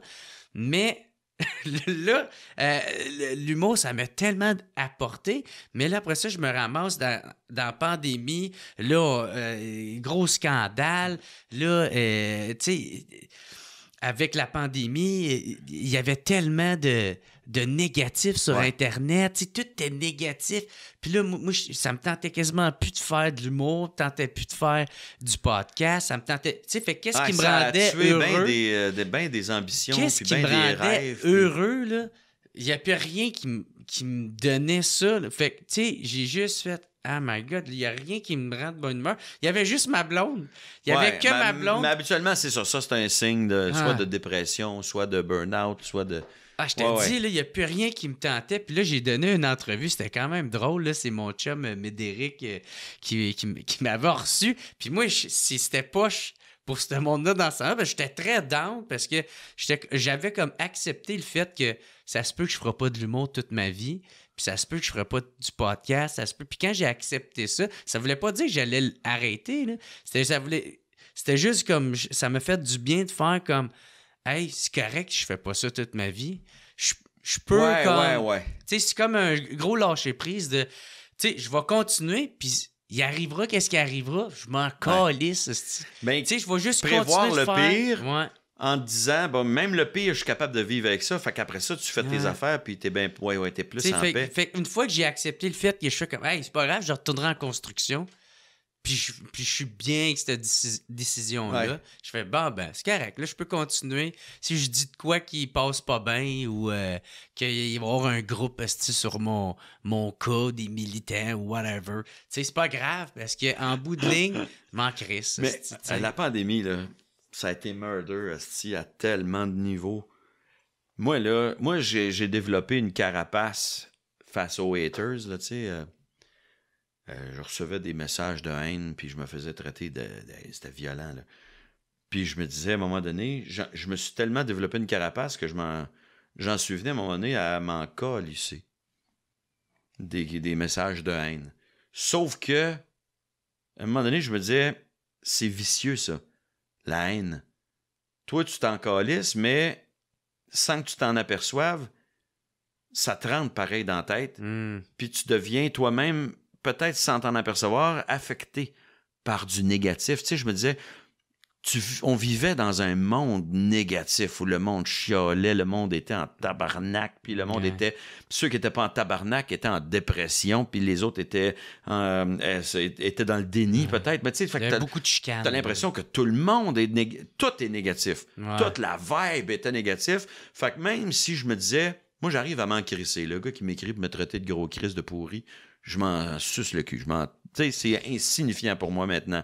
Mais je me disais, j'ai enlevé la section euh, Messenger sur ma page officielle. Ah. Je me dis, je vais arrêter de recevoir les messages de haine en privé parce que j'ai, j'ai un peu peur que, sans que je m'en aperçoive, ça m'affecte.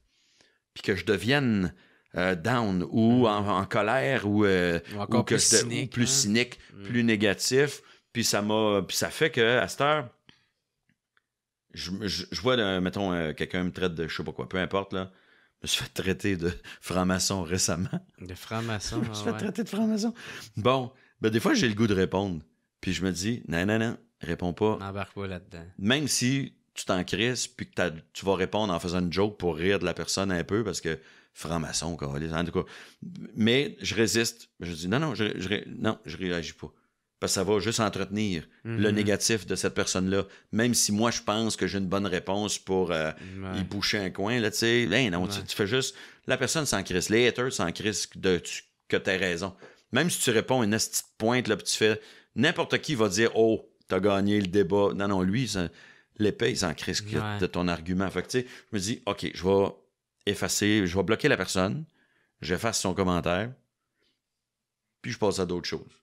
Pendant une seconde d'écart, euh, mettons deux minutes, là, je suis rongé par l'envie de répondre, mais je réponds plus jamais. Je réponds jamais, jamais à personne hmm. qui m'écrit des insultes. Je parle. moi aussi, des fois, c'est même pas que tu réponds aux insultes. Tu réponds pas à la madame qui a écrit J'ai vu ton show, j'ai trouvé ça super bon. C'est ça. C'est chien. Fait qu'à cette heure, je, je, réponds plus aux épais. Mm-hmm. Puis j'essaye de répondre à la madame qui m'écrit J'ai aimé votre show hier. Fait qu'au moins, je fais soit je fais un like, soit je fais ben merci beaucoup. Euh, puis c'est moi qui réponds là, tu sais, c'est pas une. C'est moi, c'est moi. C'est pas des réponses automatiques. Euh, mm-hmm. C'est sûr que mes réponses finissent par se ressembler. Là, C'est beaucoup de hey, merci beaucoup, c'est gentil. mais au moins, euh, au, moins c'est, au moins, c'est moi qui réponds. Là, moi, il y en avait un, il m'avait écrit Hey man, j'adore tes podcasts, est-ce que t'es fort, mais ton humour, calisse que c'était chier. pourquoi, avoir rajouté Mais calisse, ton humour, c'était chier. sais? Surtout? Juste, garde, garde. Pourquoi? Euh... hey, J'aime mes podcasts. C'était assez d'informations. Je... Mais écoute mes podcasts puis viens pas me voir en show. Ah, merde. Puis calisse-moi patience. C'est pas mal ça l'affaire. J'ai juste, tu sais, j'ai répondu à une affaire de juste, comme, hey, euh, ben merci d'aimer ça, mais, sais, pourquoi tu rajoutes le reste, tu sais, c'est blessant. Moi, j'aime pas ça, savoir ça, tu sais. Puis il dit, ah, ben, je suis désolé que ça t'affecte, qu'est-ce que je dis? Je suis comme, ben, tu sais, en ce moment, tu me donnes juste le goût de te bloquer. Il dit, ben, en tout cas, il va falloir que tu t'attendes à avoir de la critique. Tu feras bien Chris tu... d'imbécile. Ah ouais, tu feras Chris d'imbécile. Tu feras bien qu'est-ce que tu voudras. Il m'a dit ça, j'ai fait. S'il aime ben... podcasts puis qu'il nous écoute, deux mots. Chris, non, c'est trois mots. Chris d'imbécile. Chris d'épais. Qu'est-ce que tu veux dire d'autre à ça? Ah, mais je lis des fois des affaires, moi aussi, je me dis, Chris que c'est un imbécile. Chris qu'elle est épaisse. Puis je la bloque puis je réponds pas. tu sais, tu leur donnes de l'importance. Moi, là, c'est une affaire, là, je sais pas si on a déjà parlé de ça, mais je sais plus de quoi j'ai parlé avec toi, on a mm. tellement parlé. Euh, mais euh, moi, j'entretiens plus rien qui est négatif. J'essaie de plus entretenir. Ben, tu fais bien. Tu sais, dans la vie, on est frustré, on est fâché, on est euh, déçu. Vis ton émotion, puis passe à d'autres choses. Ouais. Vis pas dans le déni, là, mais entretiens pas. Tu sais, quand tu es fâché contre quelqu'un, si dans un an, tu es encore fâché, tu as un problème. Mm-hmm. Tu deviens amer, là, tu deviens, c'est pas bon. C'est tu nourris de quoi? Tu peux, ça veut pas dire de pardonner puis de dire, oh, on est. Non, non, tu, qui mange de la merde, je passe à d'autres choses, mais si toi, tu ressens ça après, moi, j'ai décidé que je voulais plus faire ça. Fait que je suis déçu, mettons, j'ai pas, j'ai pas eu le contrat pour je sais pas quoi. Je peux être frustré puis de dire, ah, fuck you, esti, ils m'ont pas pris, qui mangent de la merde. Mm-hmm. Bon, ben, si dans six mois, je suis encore, ah, les esti, je me rappelle qu'ils m'ont pas pris. C'est mauvais, ça. J'aime pas ça. Je fais plus ça. J'essaye de, de passer à d'autres choses. Mais ça veut pas dire que je pardonne, tu sais, ou que. Mm-hmm. ou que L'exemple que, que, j'avais trouvé, c'était si, je passe 100 pièces à quelqu'un et la personne ne me le remet pas, puis quand je lui demande, dit, oui, je te le remets, puis finalement, il me le remet jamais, puis après un an, j'abandonne l'idée, puis je t'en crise contre lui, puis là, finalement, ça se peut qu'un an plus tard, je l'ai oublié le 100 pièces, puis je revois la personne, puis ça se peut qu'on devienne des amis, puis je m'en calisse de son 100 pièces, c'est pas grave, je m'en fous. Mais si la personne me redemande 100 pièces, ben je vais faire non. Ouais, c'est Fuck ça. you, tu sais. Je suis pas épais. J'ai décidé que je t'en voulais plus puis que je passais à d'autres choses. Mais si tu me demandes, me, demandes 100 pièces, je suis pas épais non plus, là, tu sais. Mm-hmm. Fait que, tu sais, quelqu'un qui m'a trahi, j'ai été battu. On a tous été backstabés. J'ai été backstabé, moi, quand, dans, quand, surtout en début de carrière, tu sais, tu te fais backstabber par quelqu'un. Ben, la fois d'après que tu rencontres la personne, tu peux être en crise. Puis après un an, tu es supposé avoir passer à d'autres choses, puis peut-être même pardonner. Il y a quelqu'un, moi je, je nommerai pas la personne parce que c'est pas pertinent, là, mais j'étais backstabé, puis par après, j'ai retravaillé avec cette mm. personne-là, puis... C'était quoi qui était arrivé? Ça a été, ben, c'était, j'avais parlé... Euh, c'était dans le temps, je faisais de la tournée euh, des, des, bars. Tu sais, au début de ma carrière, on faisait des bars, puis il n'y avait pas beaucoup de soirées, mais tu sais, genre, on partait en Abitibi, puis on faisait trois soirs dans trois bars différents. Tu sais, Puis la mm-hmm. personne, c'était c'est l'école de l'humour qui nous avait booké ça. Tu sais. Puis j'avais. Euh, j'étais un peu frustré parce que je trouvais que le booking avait été drôlement fait. Il y avait un bar où on faisait, on était trois humoristes, puis il y avait un, un entracte entre chaque humoriste, puis puis, puis, dans le char, je chialais. Puis, tu, sais, quand tu chiales avec des chums, tu te questionnes pas. Tu sais, tu dis pas, oh, faut que je fasse attention à ce que je dis. Fait que, tu sais, je disais des affaires, là, le genre, euh, ah, oh, c'est pas bouqué, Asti, puis c'est n'importe quoi. Tu sais, des fois, on s'emporte, ah, puis on pense pas nécessairement à ça, mais tu t'emportes. C'est T'es sur l'émotion. Puis, puis, une des personnes avec qui j'étais est allée dire à la personne, ouais, Laurent, il a dit que tu savais pas bouquer. Il a dit, fait que là, là, je reviens à l'école de l'humour, c'était René Cloutier qui, qui, qui bouquait à ce moment-là pour l'école de l'humour. Elle me convoque dans son bureau. Elle dit Comment ça a été en Abitibi? Je dis ben, Ça a bien été. Ouais. Ça a l'air que, que tu n'étais pas content. Tu as dit que je savais pas bouquer. Puis j'ai fait Tabarnak, j'ai trouvé ça minable. Hmm. Tu sais, si. J'avais trouvé ça tellement minable. Puis ce, cet humoriste-là, j'y en ai voulu. Puis à un moment donné, on est passé à d'autres choses. Puis on a travaillé ensemble à un moment donné sur d'autres projets. Puis j'avais passé à d'autres choses. Mais je l'aurais pas engagé sur un gala ou sur mes affaires. Il y a des limites aussi à être épais, là, tu, sais, tu comprends? Mm-hmm. Mais je vis pas dans l'amertume de ce moment-là dans ma vie. Mais je me rappelle que quand je l'ai vécu, j'ai fait que c'est donc de la petite merde on a tous déjà dit des affaires qui nous dépassent. Tu sais, quand tu parles à quelqu'un, puis tu fais, il est bien cave, ce style-là. Pourquoi il a dit ça, tu sais? Puis après ça, tu vas dire, hey, Laurent, il a dit que t'étais cave. Puis tu voyons, si c'est pas. On est dans un char, on est entre amis, on se censure pas. Tu sais, fait ça, ça avait été vraiment. Euh... Je n'ai pas compris ce qui s'était passé, tu sais. J'ai fait, qui fait ça, Asti?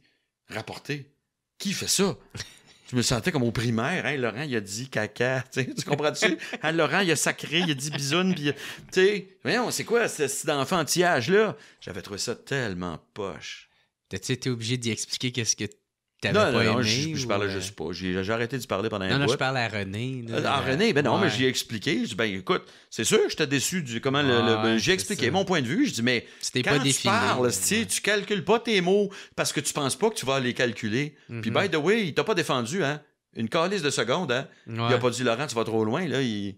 Tu sais, ça m'avait bien fait chier j'en parle puis je m'emporte, j'ai l'air d'être frustré de ça.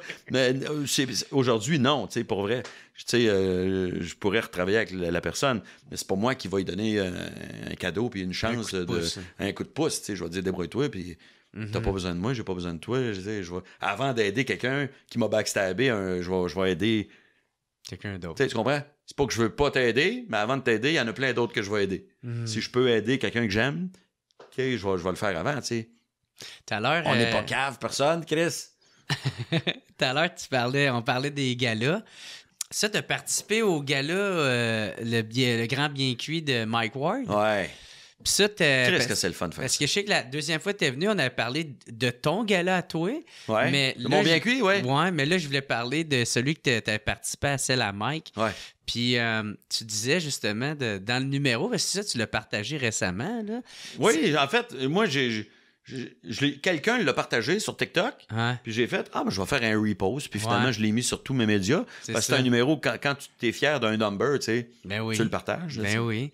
Puis euh, ben c'est ça, tu disais justement que euh, genre c'était comme plus vers la fin, tu disais ouais moi puis Mike on est vraiment des amis. on est des amis, puis là faut tu sais, il faut que je fasse. on m'a suggéré de finir avec une partie hommage parce qu'on est au Québec, puis les gens ont besoin d'être rassurés, qu'on n'est pas en chicane. C'est vrai, ça? Ouais, on m'avait dit, essaye de finir sur au moins un petit mot pour, en tout cas, Mike, je t'aime beaucoup. Là, mais j'ai exagéré, on m'a pas demandé absolument, là, mais on m'avait dit, ça serait le fun de finir sur. Euh, tu sais, tu bitch Mike tout le long, puis à la fin, tu finis sur Mike, t'es un gars que j'aime, puis t'as du cœur, puis il faut finir sur du positif. Fait que j'ai fait je vais finir sur du positif, mais je vais rire de ça. Ouais. Mais c'est vrai qu'au Québec, on a besoin d'être un peu rassuré. Mais je pense que c'est moins comme ça maintenant. Les bien cuits marchent en tabarouette. Tu sais, euh, le numéro là, que j'ai partagé de Mike, là, j'ai reçu beaucoup de commentaires positifs des gens qui disent Colis, j'avais jamais vu ça. C'est où qu'on peut voir ça? C'est quoi ça, ces shows-là? C'est donc bien bon. Parce que les gens découvrent les bien cuits. Là. On commence à accepter mais il est bien cuit, c'est tout le monde. tout le monde qui était là aimait Mike. Fait que tu sais, tu peux dire que Mike, c'est une grosse marde, si tu veux. Les gens savent que tu l'aimes, fait qu'ils se disent, il niaise. Mm-hmm.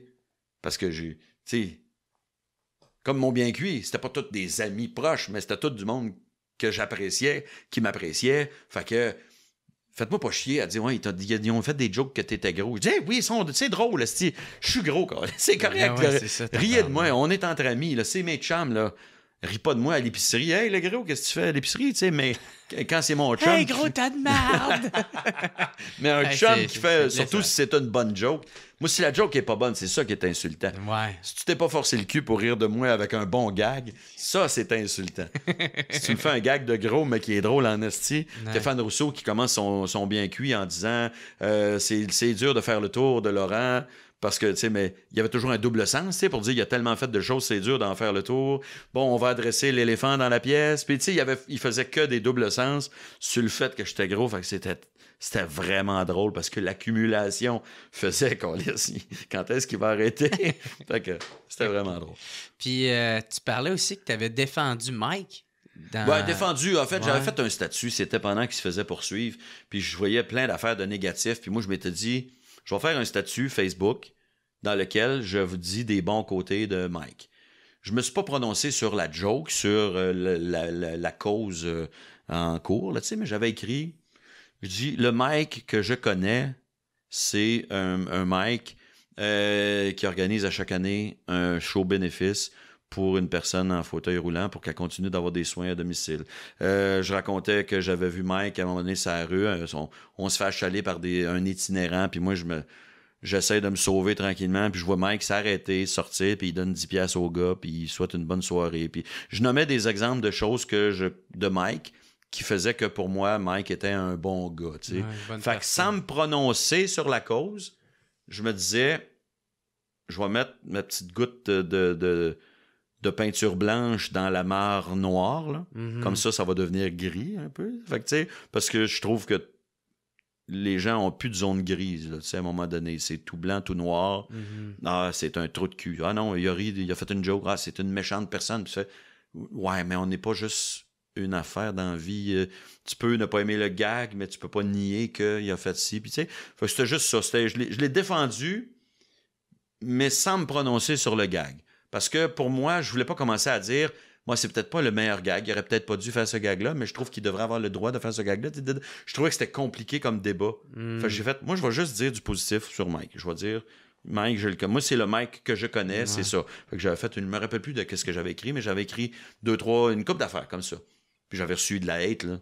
Ah ouais. Oh oui, ben oui, ben c'est le plus de hate que j'ai reçu dans ma vie. C'était pas Mike, mais à cette époque-là, c'était probablement la fois où j'avais eu le plus de hate dans ma vie. C'était tout à ah, cause de que j'avais défendu Mike. J'en ai reçu d'autres après à cause de la pandémie, là, puis euh, des masques, puis tout ça, là, mais euh, hmm. c'était euh, que défendre quelqu'un, ben, ça prend du courage. Moi, quand j'ai eu des controverses, je me suis pas fait défendre. As-tu eu des controverses? Pas beaucoup. Pas beaucoup, mais j'avais fait une tonne sur la policière matricule 728. Là, ah pendant le conflit étudiant, j'avais fait une tonne. Et puis, écoute, les insultes, là, puis tu sais, ils ont parlé de tout ça, dans, même à la radio, pour dire est-ce qu'on peut est-ce que c'est est-ce que ça va trop loin? Puis, euh, puis moi, j'avais décidé que j'en parlerais pas. Là. J'ai donné aucune entrevue là-dessus, tu sais, mais, mais je me, me faisais. Mais, mais, mais c'était peut-être pas assez fort.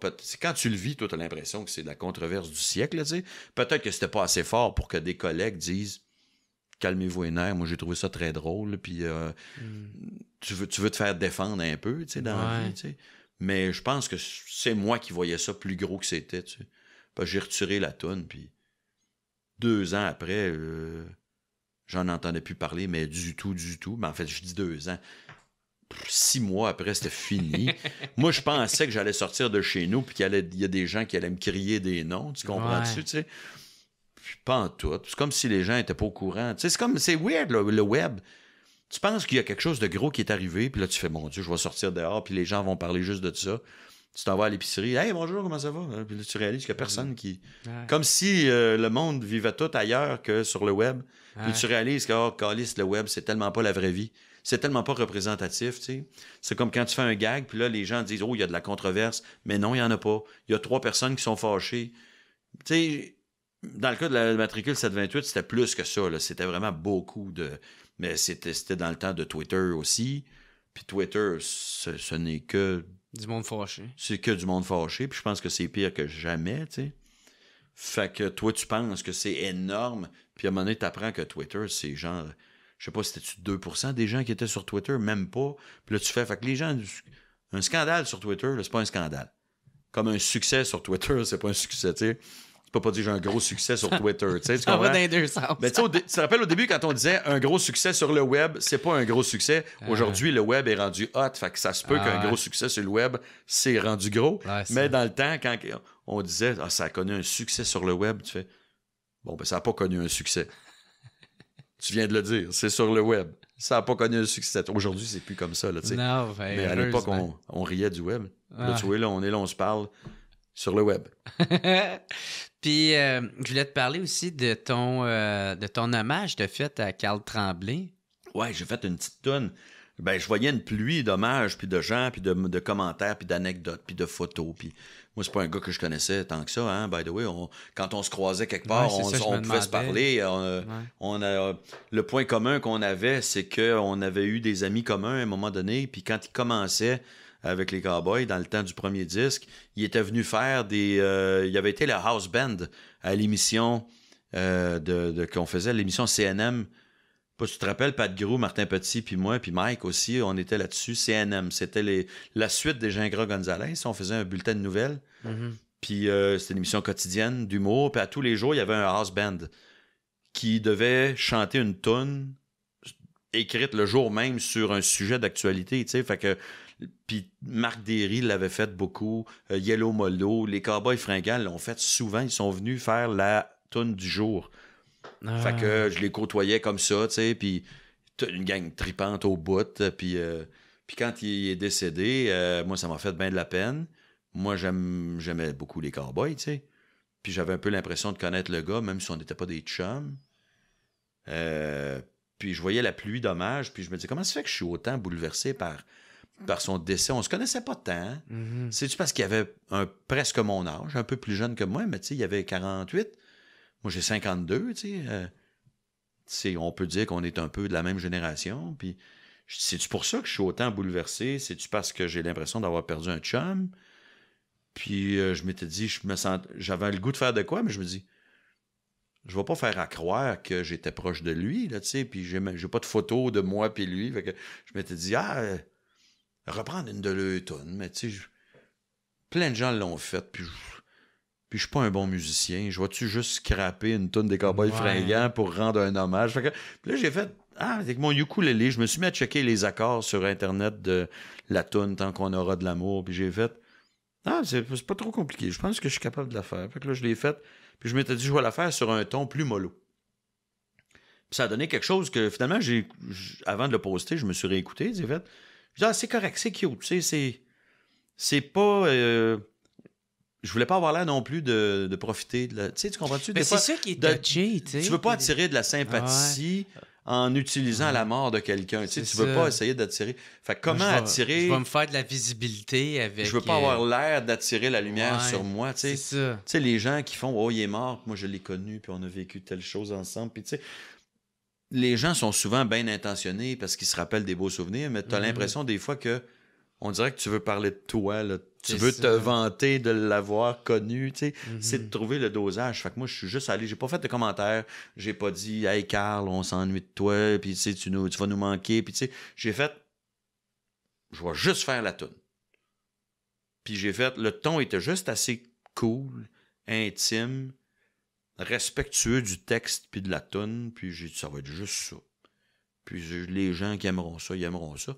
J'ai mis ça sur TikTok au début. Mais Chris a pogné en C'est mon vidéo qui a eu le plus de partages puis de vues. Puis euh, euh, moi, je peux te dire, je fais pas ça pour les vues parce que je suis pas un gars qui a beaucoup de vues sur son TikTok. Mm. Je suis pas. Mais, mais ça, ça. Écoute, oui, ça, j'ai eu. Je sais pas combien. J'ai arrêté, de... arrêté de checker, là, mais euh, les deux premiers jours, ça a monté à 200 000 vues assez rapidement. Là, mm-hmm. Mais euh, je voulais le faire. Je trouvais que c'était cute euh, comme tune. Puis c'est une de mes tunes préférées, des autres. c'est un peu leur seule vraie tune positive. Ils ont été bien dark, les cowboys. sais Au début, ils étaient de party, puis ils chantaient Oh, Marcel Galarno, comment vont tes vieux os dans, dans ta prison à Bordeaux? Hein. Marcel Galarno. Puis euh, c'était plus humoristique, c'était comme de la parodie de country. Puis à un moment donné, ils sont devenus très deep, là, puis euh, très dark. Puis euh, moi, c'est la bout que j'ai trouvé le moins, que j'ai le moins aimé des cowboys, c'est tout le bout de ah, je suis le dernier humain sur la terre, il n'y a plus d'eau, puis on va tous mourir, là, tu sais, tu comprends-tu? Mm-hmm. Puis j'ai fait, ah, t'es un peu lourd. Puis là, d'un coup, il arrive avec tant qu'on aura de l'amour, tu fais, ah, c'est drôle, parce que tu sens quand même un peu de. Un peu de. On se prend pas au sérieux, là, on chante quelque chose, c'est quasiment trop cute, là. Pour chanter, tu comprends, tu dis, c'était-tu ironique comme chanson, mais tu sais, il y avait il y avait de quoi de bien beau là-dedans. Puis ils ont chanté des tunes parfaites, eux autres. Il n'y a pas beaucoup de gens que je trouve qui ont une. Tu sais, une chanson que moi je dis, cette chanson-là, elle est parfaite. Mm-hmm. Ben, je trouve que euh, Les Étoiles filantes. Ah, sacrément. Puis L'Amérique pleure, pour moi, les deux chansons, c'est des chansons parfaites. Il n'y a rien de trop dans ces tunes-là. Il n'y a pas une phrase de trop, il n'y a pas une note de trop. Je pas... rien, J'enlèverais rien. rien tout et là, dans ils, ont, plus que ça, là, tu comprends? Ils ont plein de bonnes tonnes. Mais si que ces deux tonnes-là, le poêle, pleurer, être, ému par une tonne, il y a des grands chanteurs, des grands poètes qui ont écrit des tonnes qui m'ont pas ému autant que ces deux tonnes-là. Le beat est bon, l'ambiance est bon, la voix de Carl était parfaite pour chanter ça, la musique de, Jean-François Posé, le texte. Tu sais, euh, toutes ces deux tunes euh, impeccables. Il n'y a rien à changer là-dedans. C'est des chefs-d'œuvre de tunes. Mhm. Posé, euh, il peut dire euh, il, a, écrit deux chefs-d'œuvre aux yeux de Laurent Paquin. Je sais pas ce que ça vaut, là, mais à mes yeux, à moi, c'est deux tonnes complètement parfaites. ben, je trouve que ça close bien le podcast, en tout cas, mon Laurent. Fait combien de temps que je te retiens, là? Deux heures et quart. Ouais? Quand même, hein? Ça passe vite, hein? C'est parfait. Tu t'en vas à Québec, tu écoutes le podcast. Si tu roules assez vite, tu arrives, puis le podcast finit, puis t'es correct. Exactement. Moi, je calcule ça de même. Je regarde la durée d'un podcast. fait aussi que je m'en vais. Je m'en vais à Sorel. Euh, le podcast. ok, je vais l'écouter aller-retour. Donc, ça fait une heure et demie, 45 minutes aller. Ah, c'est bon, je vais écouter. Euh, Hey, man, ça a été un plaisir de te parler encore une fois. man, c'est vraiment cool. Je te laisse euh, le dernier mot. Y a-tu de quoi que tu aimerais plugger si le monde veut venir te voir? Écoute, sur le site laurentpaquin.com, il y a toutes mes affaires à moi, toute ma tournée. Le show va bien. Euh, je suis complet à pas mal de places, mais quand c'est complet, ça veut dire que souvent on va y retourner une autre fois. Supplémentaire. Tenez-vous au courant de mon one-man show. Je reprends euh, le dîner de con l'été prochain, l'été d'après encore aussi. Fait que si vous avez. Puis je vous le dis, le show Le Crocodile Distrait, c'est mon meilleur. Je l'ai dit pour déplaire, puis je le pensais aussi, mais je pense que Crocodile Distrait est, encore meilleur. Je suis encore plus fier de ce show-là. Il y a plus de gags au pied carré que dans toutes les autres shows que j'ai faites. Puis il y a plus de contenu aussi. J'ai l'impression d'être vraiment. C'est pas un show d'anecdotes. Il n'y a rien de facile dans ce show-là. Je suis fier du travail qu'on a fait, mais moi puis les auteurs. Je vais leur dire, c'est Stéphane, Stéphane Poirier puis Sylvain Larocque. Là, on a travaillé comme des Chris pour faire un bon show. Fait que j'en suis bien fier. Puis le dîner de con, qu'est-ce que je te dis, c'est un chef-d'œuvre. Fait que venez voir ça pour vrai. Je vous jure, vous regretterez pas la soirée. Que vous ayez, que vous ayez vu le film avant ou pas, là vous allez capoter. Moi, je l'ai vu euh, durant les fêtes. J'avais jamais vu ça. T'avais jamais vu? Ah il y a des gens qui pensent que la pièce est encore meilleure que le film. Ah, cool. Parce que le, film, il date de plusieurs ah, années. Aujourd'hui, aujourd'hui, le timing est plus rapide, on dirait. Mhm. C'est comme le hockey, ça va plus vite qu'avant. Je pense que la pièce va un petit peu plus vite que le film. Ça bouge un petit peu plus, c'est plus dynamique. Puis il y, a des gens qui ont vu le film, qui avaient peur de voir la pièce, puis qui disaient j'ai peur d'être déçu parce que le film est tellement bon puis finalement, ils ont fait Oh, Chris, on oublie le film. Ah, cool. On oublie le film. Puis moi, puis Normand d'Amour, on fait un esti de bon duo comique. en toute fausse modestie. on fait un esti de bon duo Gros merci à procafetière.ca J'aime beaucoup le, fond de vos tasses, procafetière.ca. Pour vrai, je comprends pas pourquoi on n'a pas pensé à ça avant. Elles sont belles, hein? Ah ouais. N'importe quelle station de radio ou n'importe quel podcast devrait avoir juste des tasses de main. Ah ouais, tu sais, quand tu déposes puis tu fais attention pour pas faire de bruit. Là, là c'est. Regarde ça. C'est parfait. On l'entend même pas. hey, merci beaucoup tout le monde d'avoir écouté. On se revoit la semaine prochaine. Ciao tout le Bye, monde. tout le monde. Bye. It's the What's Up Podcast. What's Up Podcast. What's Up Podcast. Avec Jeremy Alain. Yeah, yeah, yeah, yeah, yeah, yeah! Pom, pom, pom, pom!